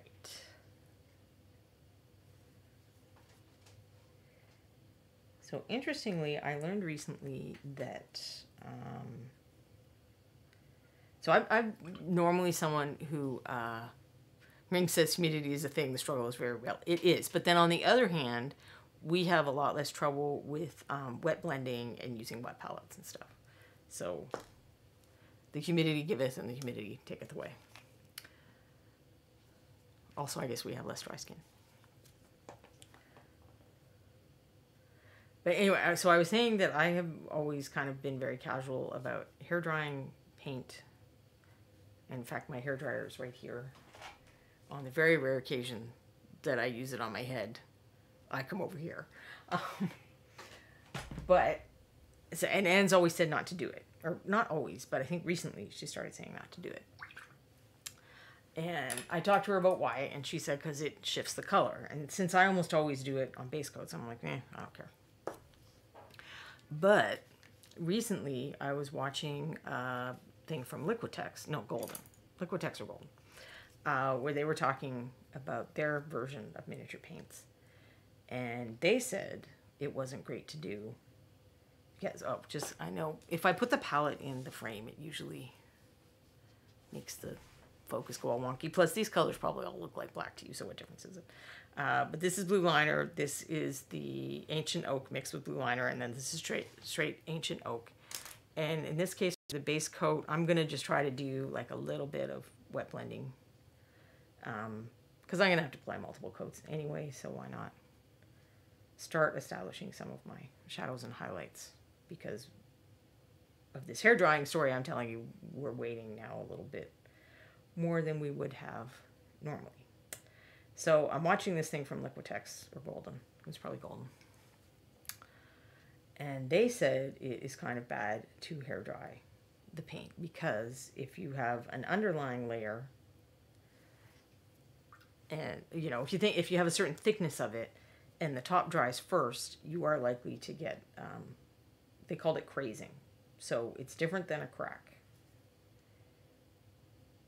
so a crack is like the material it's very unlikely for um, acrylic paints to crack because it's a very flexible material um, I think that probably is more pertinent, you know, if you're working with two paint thicknesses of paint. But to be on the safe side, I'm trying to um, hair dry a little less than I used to. Or, do it only on air instead of heat. So I rarely have problems, but um, I know for a while I didn't use pure black because I used to use it on base rims and I did get what I thought was cracking, but was probably crazing because I was being impatient and wanting to do the second coat on my base rim and um, using the hair dryer. So I very much suspect that that is what was going on.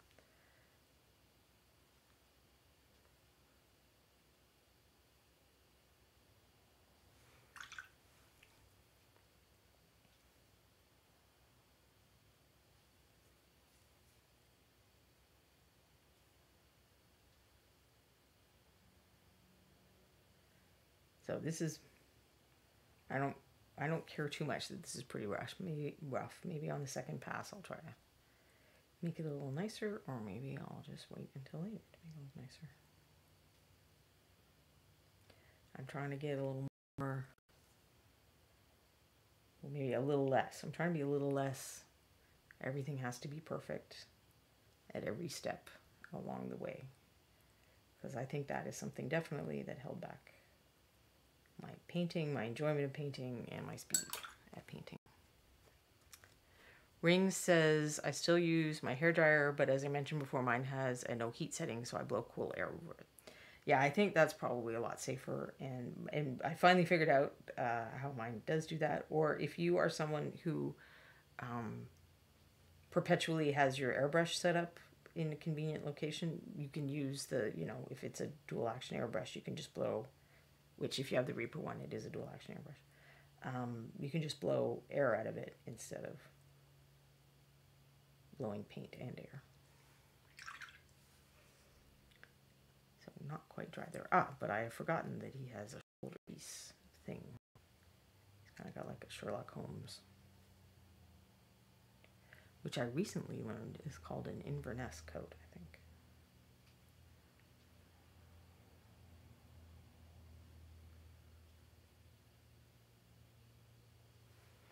When you have that little capelet dealy.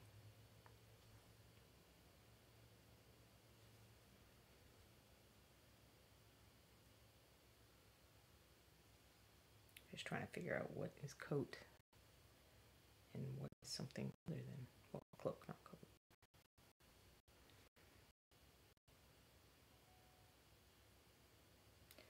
These folds are fairly fine, so I'm not really going to try and wet blend every individual fold. I'm trying to establish the big picture shadow highlight location. Which is also something I've been bad at. I will have a tendency to jump into details sooner than ought to be done. I mean, sometimes we have to because it's just tough to reach things, but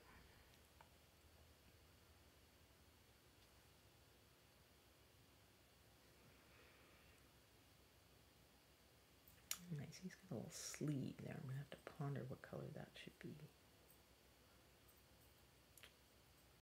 Well, that's probably still his robe, right? Oh, sometimes these fantasy outfits get hard to figure out, like the Pathfinder miniatures. I love Wayne Reynolds' art, but that's I don't know how those people get dressed. If I'm gonna uh, sneak attack them the night when they're resting, there's like no way that they're going to be able to jump out of bed and put their armor on. That is not happening.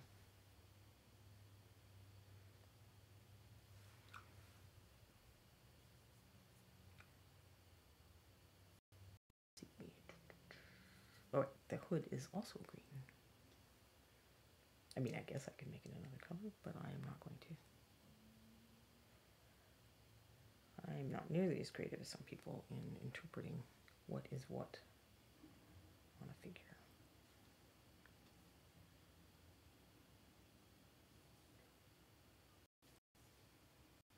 I probably should think more specifically about what is the direction of light.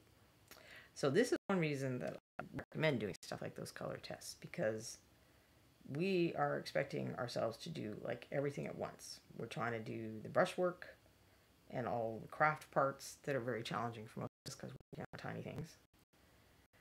Um, we're trying to, you know, pick our colors and make them work. We're trying to pick our direction of light and then to pick that by where we put the shadows and highlights. And, you know, we're probably trying to do 20 other things besides pick out details, make a texture, whatever you're trying to do. Trying to, expecting yourself to do all of that at the same time is a big ask. Like, real artists, most real professional artists that work in like um, concept design or whatever, they don't do that. They can't do everything at once. They do a preliminary sketch and then they, you know, they do a bunch of preliminary sketches and then they take the most promising one and and do a little more of that and then they'll do like a value study of how do you want to do it in the environment and then they'll do you know a color study of what colors you're going to use and then they do the final thing like very few artists are trying to do all of the things at the same time and then we feel bad about it when we can't do it. Like when we fail we think we're bad. We're, we're bad artists. And i think really it's just in our hobby. We have this expectation that you can do everything at once and you can't. So i think finding ways to break stuff up um, color study as a separate step do value study as a separate step rough things in and then make the blends pretty once you know where you want you know your direction of light and highlight and shadows I mean, the, the obvious direction of light would be from here, I think, because then it's going to hit his face and, you know, help give him that extra proud stance. So there's going to be need to be like a ton more highlights right here. Even if I don't want it to be a highly contrasting type of cloth. Right, maybe I should mix up another highlight step. And what did I claim I would do that with? Medusa green.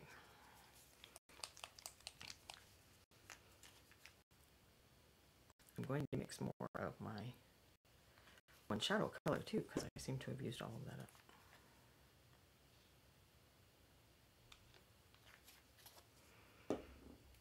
I will show my palette in just a minute. I promise I'm not trying to hide that from you guys. Maybe someday I'll figure out how to do palette cam, but since I've barely figured out how to do a face cam, I don't know how much hope I'd hold out for that.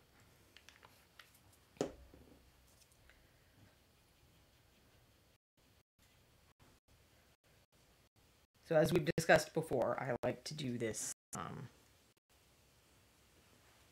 pre-mix my colors instead of mixing um, on the brush the way some people do. Like Michael Proctor, if you come and watch Crow's Nest tomorrow, I'm sure he will also be painting something and you can get some cool tips on how he handles the paint.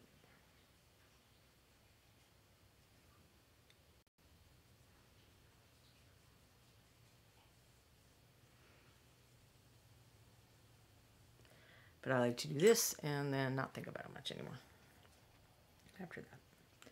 And just think about where am I putting all these colors. And if I'm trying to be really super smooth, I will have more of those than less. I the shadow.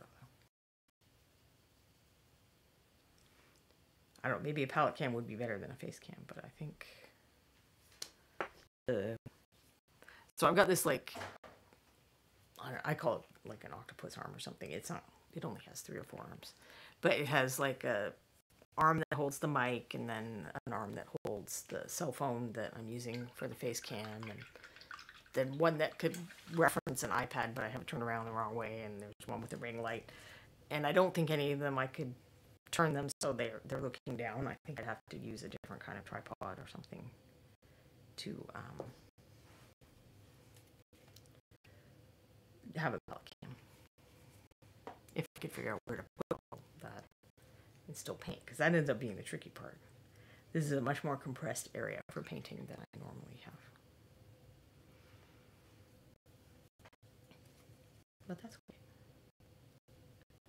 Like I said, constraints um, help you learn how to do things.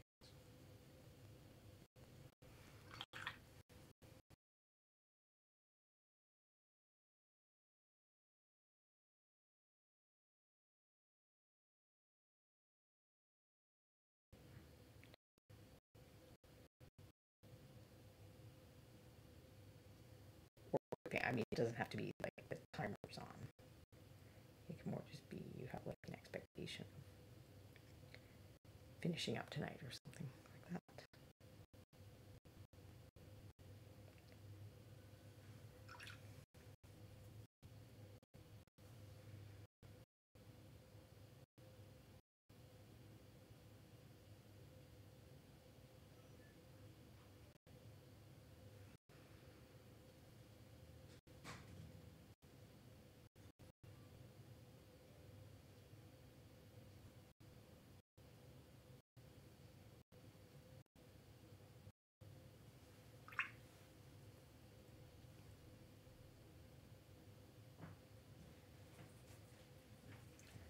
There, my highlight got white, way too wide, as I'm sure happens to us all.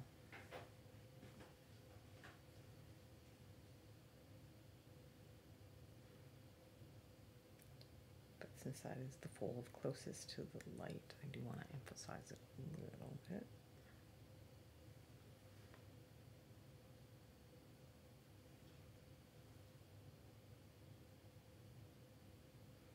Am I? Oh, the camera's frozen. All of the cameras are frozen. Can you guys hear me? Say something in chat if you can hear me. Nope. Okay, there we bounce back. I don't know how long it was frozen for. Quindy, I don't think it was you. Because it happened to me too.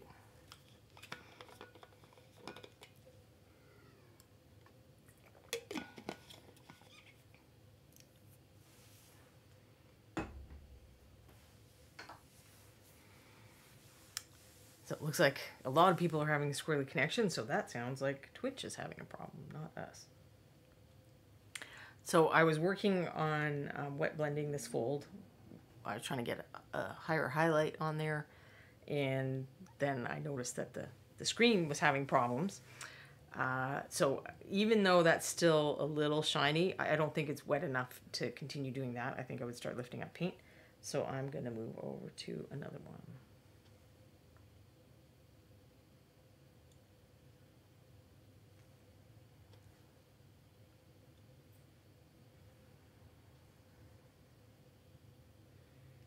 want to not lighten this up too much. I do want it to be a fairly dark color. So that's what the challenge is being here. He's trying to be fast and loose, but keep that darker color going.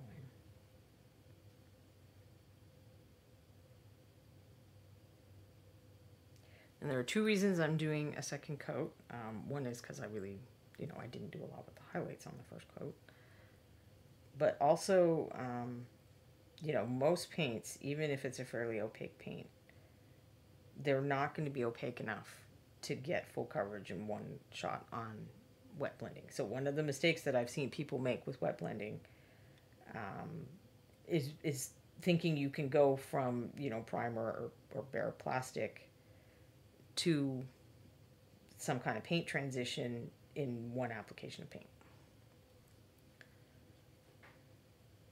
So you either need to do like, uh, you know, an overall base coat color and then start doing this, or um,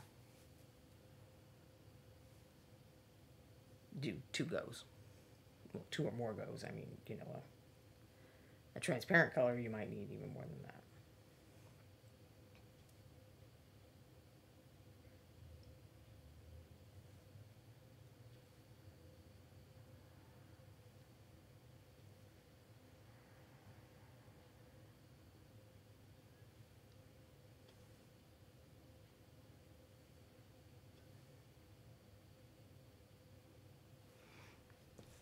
So I mixed all the way up to here for highlight colors. and I'm not really using that. I might end up going using that in very small places, but it would have to be controlled. So I'm, I'm really not going much beyond here because I want to keep this um, cloak dark overall. Nomad Zeke points out that my face cam is frozen. Um,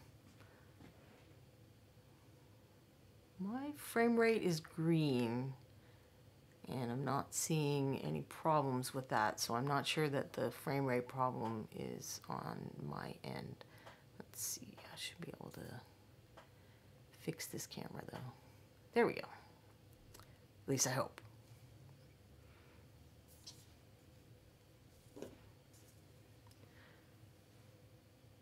So yeah it does sound like Twitch is twitchy today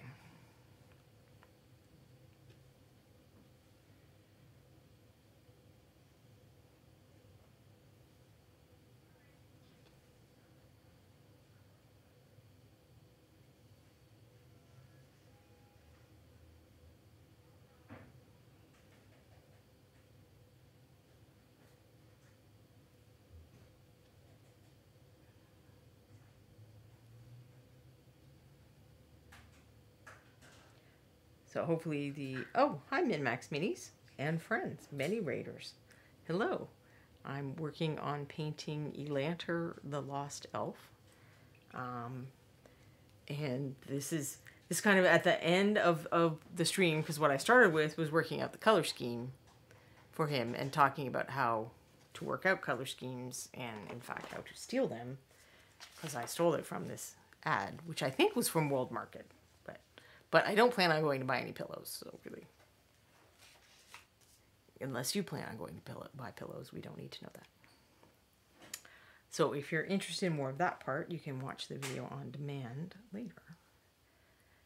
But hopefully you have all been having a great afternoon. I don't know if your Twitch was going a bit squirrely for a bit, but we have found that we've had some squirreliness happening over here. But hopefully it's all there now.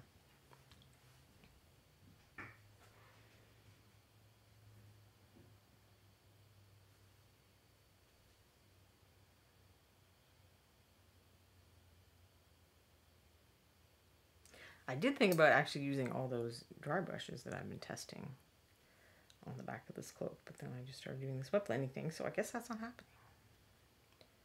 Perhaps somewhere else because I was using them on Mystery Mini. I can't tease you about, or that I am teasing you about. I guess I am teasing you about Mystery Mini.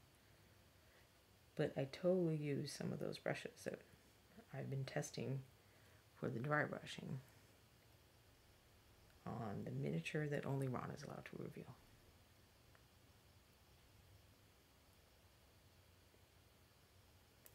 And I usually get a lot further along with that so that Ron can reveal it. Hi, Trader Legions. Beef in the hole.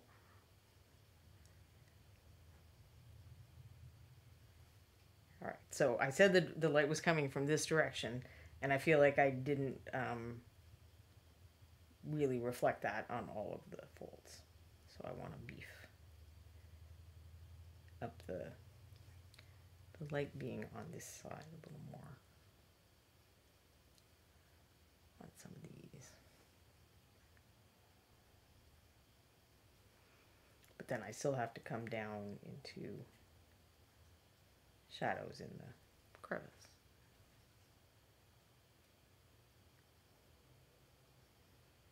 And I will just say I am not a wet blending expert, so what I would do is get this in and then if I were being persnickety, I would do things my usual way, which is I come along wherever there's lines I don't like and I get a color kind of in between them. And I keep doing this until I don't see lines I don't like.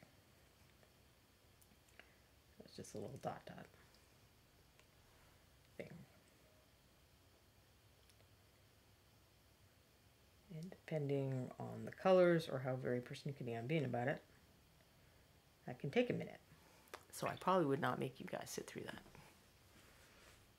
whole process or we won't make we won't expect him to be like I'm taking this to ReaperCon and I want to win all the prizes level.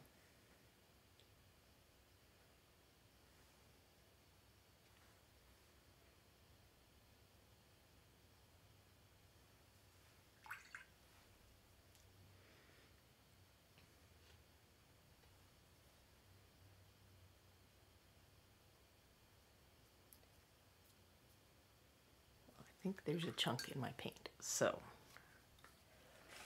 sometimes I don't care, you know, if it's small enough. Sometimes you will get a chunk that's just like in the wrong place for blending. I don't think this is one of those chunks, but I just thought I would share what I do with chunks. So this is, um, I mean, I know people who talk to their dentist and get uh, old dental tools because they'll uh, dull out for the purpose of what the dentist does long before they're not useful to us. This I probably is probably a squadron tool that I bought from Hobbytown. Um, so I get something like this. So the this this kind of needle even I mean pin, it it's not as sharp a point, especially if you have it gunked up with paint. Let's see if the Clever Crow one does look sharper.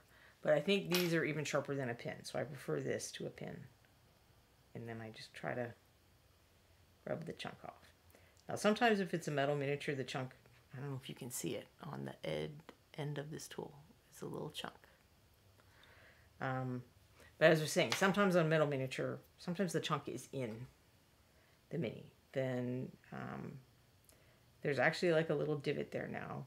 I might try to smooth it out, although that risks, if you if you can just see it, it's a little shinier there now because I've sort of buffed the paint, as it were. Um, often that hole will be so small as to be microscopic and it doesn't matter. But you can, you know, if you get one that's big enough, you can just kind of put a little drop of paint in it and then let it dry and then put another little drop of paint in it or brush on sealer and eventually fill in the divot. Like if you have, so Dark Swords, earlier miniatures, uh, like the early ones that they produced, they sculpted in the like a little hole where the eyeball was supposed to be. And if you wanted to change where the eye was looking, you would have to deal with that hole. And that is the kind of thing. So I, I would fill up larger divots. If you have metal miniatures and they get little, um, they get this like little pockmark thing sometimes, particularly Bobby Jackson sculpts because he likes having these big beefy cloaks and robes and stuff. And I think what was explained to me is that the um, the metal can start cooling down by the time it's reaching the edge of the mold while it's still more molten in the middle. And that can cause like a little pitting thing. So it's not it's not a huge problem. But if you have one and you don't like the pitting of it you can do a few coats of that brush on sealer and that helps a lot the nice thing is that that means that this rarely happens on faces or places like that, you know, filigree or detail that we really care about because it's um, related to the thick, like the thick areas are what suffers the problem.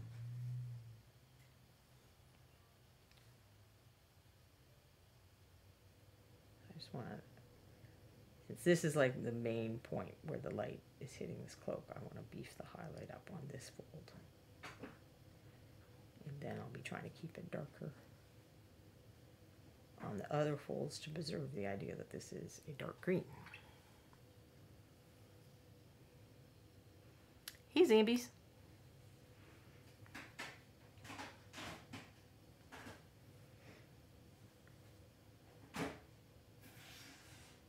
But I am actually getting a little into the weeds on this when I said I was just roughing in the the main highlights and stuff, but I thought I it would be nice to give you kind of where the process goes from here, you know, from the the wet blend, which I do sometimes start minis that way.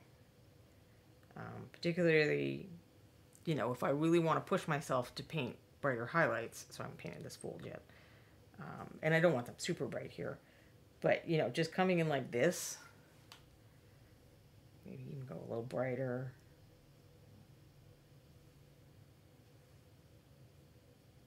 and then paint in where my dark shadow is and some of my midtones. And then I have to fix it. So this forces me to have contrast if I've decided that this is like the contrast level that I want to have. If I if I lay stuff down like that and then let it dry and then I have to fix it, that's a way to force your contrast. It's you can't wuss out. You can't be like, oh well, I'm blending and now I like it. It pushes you to be like, nope, I gotta correct that. Now you can lose it while you're trying to correct it, and then you would have to reestablish it. And in fact, I would need a couple of coats. You can see that's kind of patchy. But um, it would eventually build up to be brighter like that.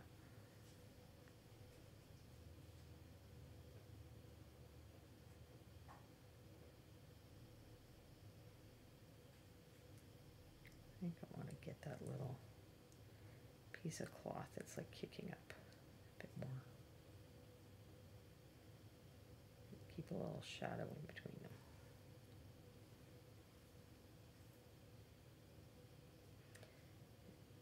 cursed day off. That is a good day.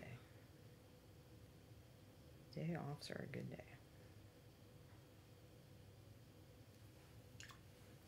I mean, I guess unless you have to run a bunch of boring errands.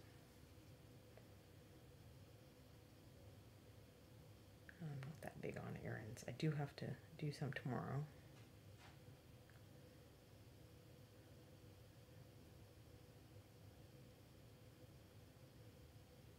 But such is life. So I'm kind of doing the less extreme version of that here. So I've added these highlights and it is not smooth and pretty. It's not like terrible, you know, if we zoom out. It's not like as rough as this. But that's kind of the the Rhonda way of doing this. But if you if you're wimping out on something like this, doing it this way, or working up from the darkest color or whatever, um, you know, put put some bright highlights on there, make it a problem that you have to solve.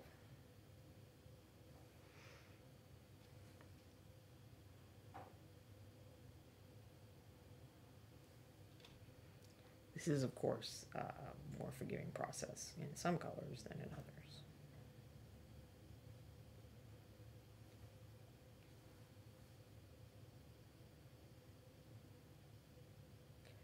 Because this is not a super transparent saturated green, it's a pretty good color for it.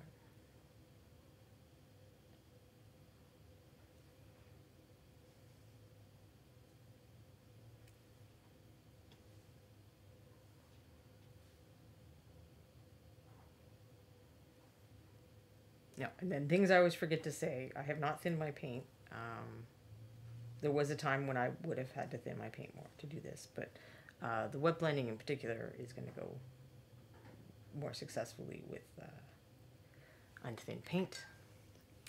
And then for the benefit of people who came in a bit later, I'm going to review the colors I'm using. So um, the main color is Ancient Oak, but I kind of wanted this cloak a little darker, so I mixed the Ancient Oak with Blue Liner. Then the Blue Liner is my darkest shadow, and then I'm mixing um, Medusa Green into the Ancient Oak for the highlights. And that is to simulate the color of my color scheme from this pillow, because I stole this color scheme. Hey, Corporia. Have you been here the whole time? I don't think you've been here the whole time. And Kirst has to do groceries. Yeah, I think I've been putting that one off too. But the first thing I have to do is go to the post office. I tried to go on Saturday and I forgot that their hours are not as extensive on Saturday. So I got there and too bad for me. There's nobody else there.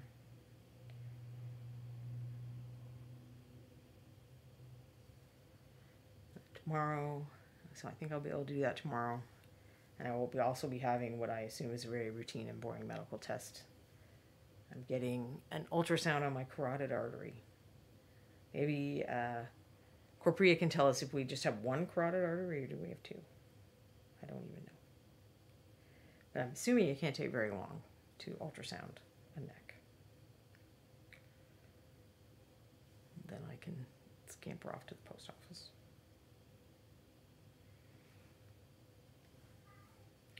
That was some weeks ago. I think it was I actually the the week I had to cancel the show. Um, I had had a weird vision thing happen on Friday, and when I called my eye doctor's office, all of the doctors had gone home, but they set me up with an appointment for Monday. So I went in Monday, and they did like a whole bunch of tests, and they said pretty sure everything's fine. It was just a they call it an ocular migraine. Um, but they they wanted me to go to my regular doctor, and then the regular doctor wanted to do this test just to rule out the possibility that it could be anything else. And like nothing weird has happened since then, so I'm pretty confident that it is just going to be an expense that I can be annoyed about later instead of being a necessary thing. But I don't like to mess with the eyes. Oh, Corporea is telling us that there are four carotid arteries. What? How does that work?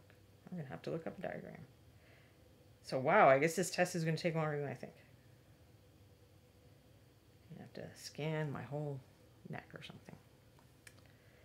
Internal, external on both sides. Okay.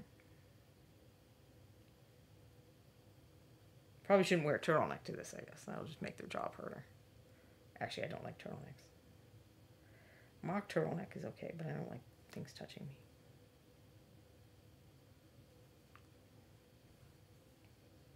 My husband thinks I'm nuts. We just bought him like six new turtlenecks. When the package arrived, I told him his Steve Jobs costume came in. I think that's why he likes the turtlenecks. So yes, in case anyone has been wondering how I get my smooth blends, I do this for like a while. A long while. Depending on how awesome I want it to look. And honestly, it's still a little stripy in places down here.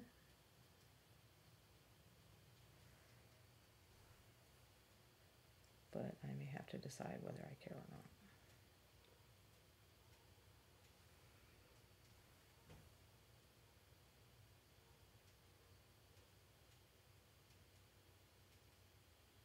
But this is the secret. Insanity. Insanity is the secret.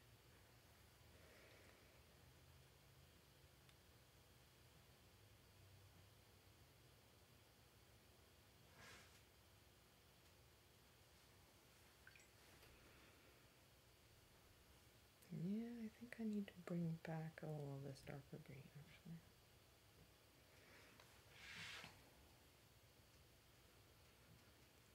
Corporea says she thinks they will just scan the external arteries. I don't know which ones would cut off the blood supply to your brain, which is or your eyes, I assume is what they're checking for.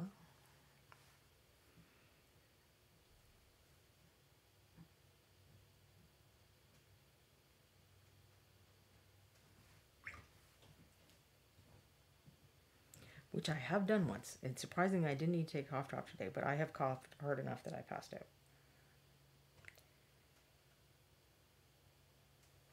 And no one scanned anything that time, but there you go.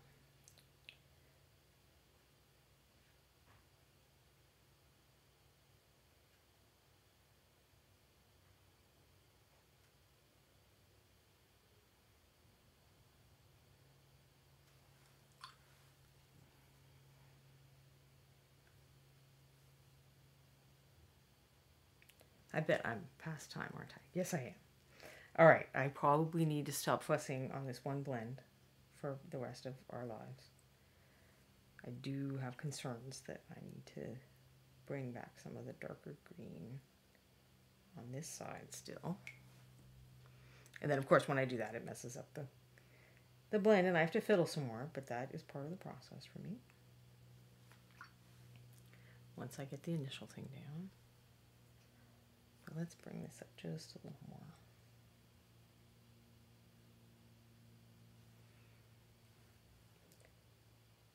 And then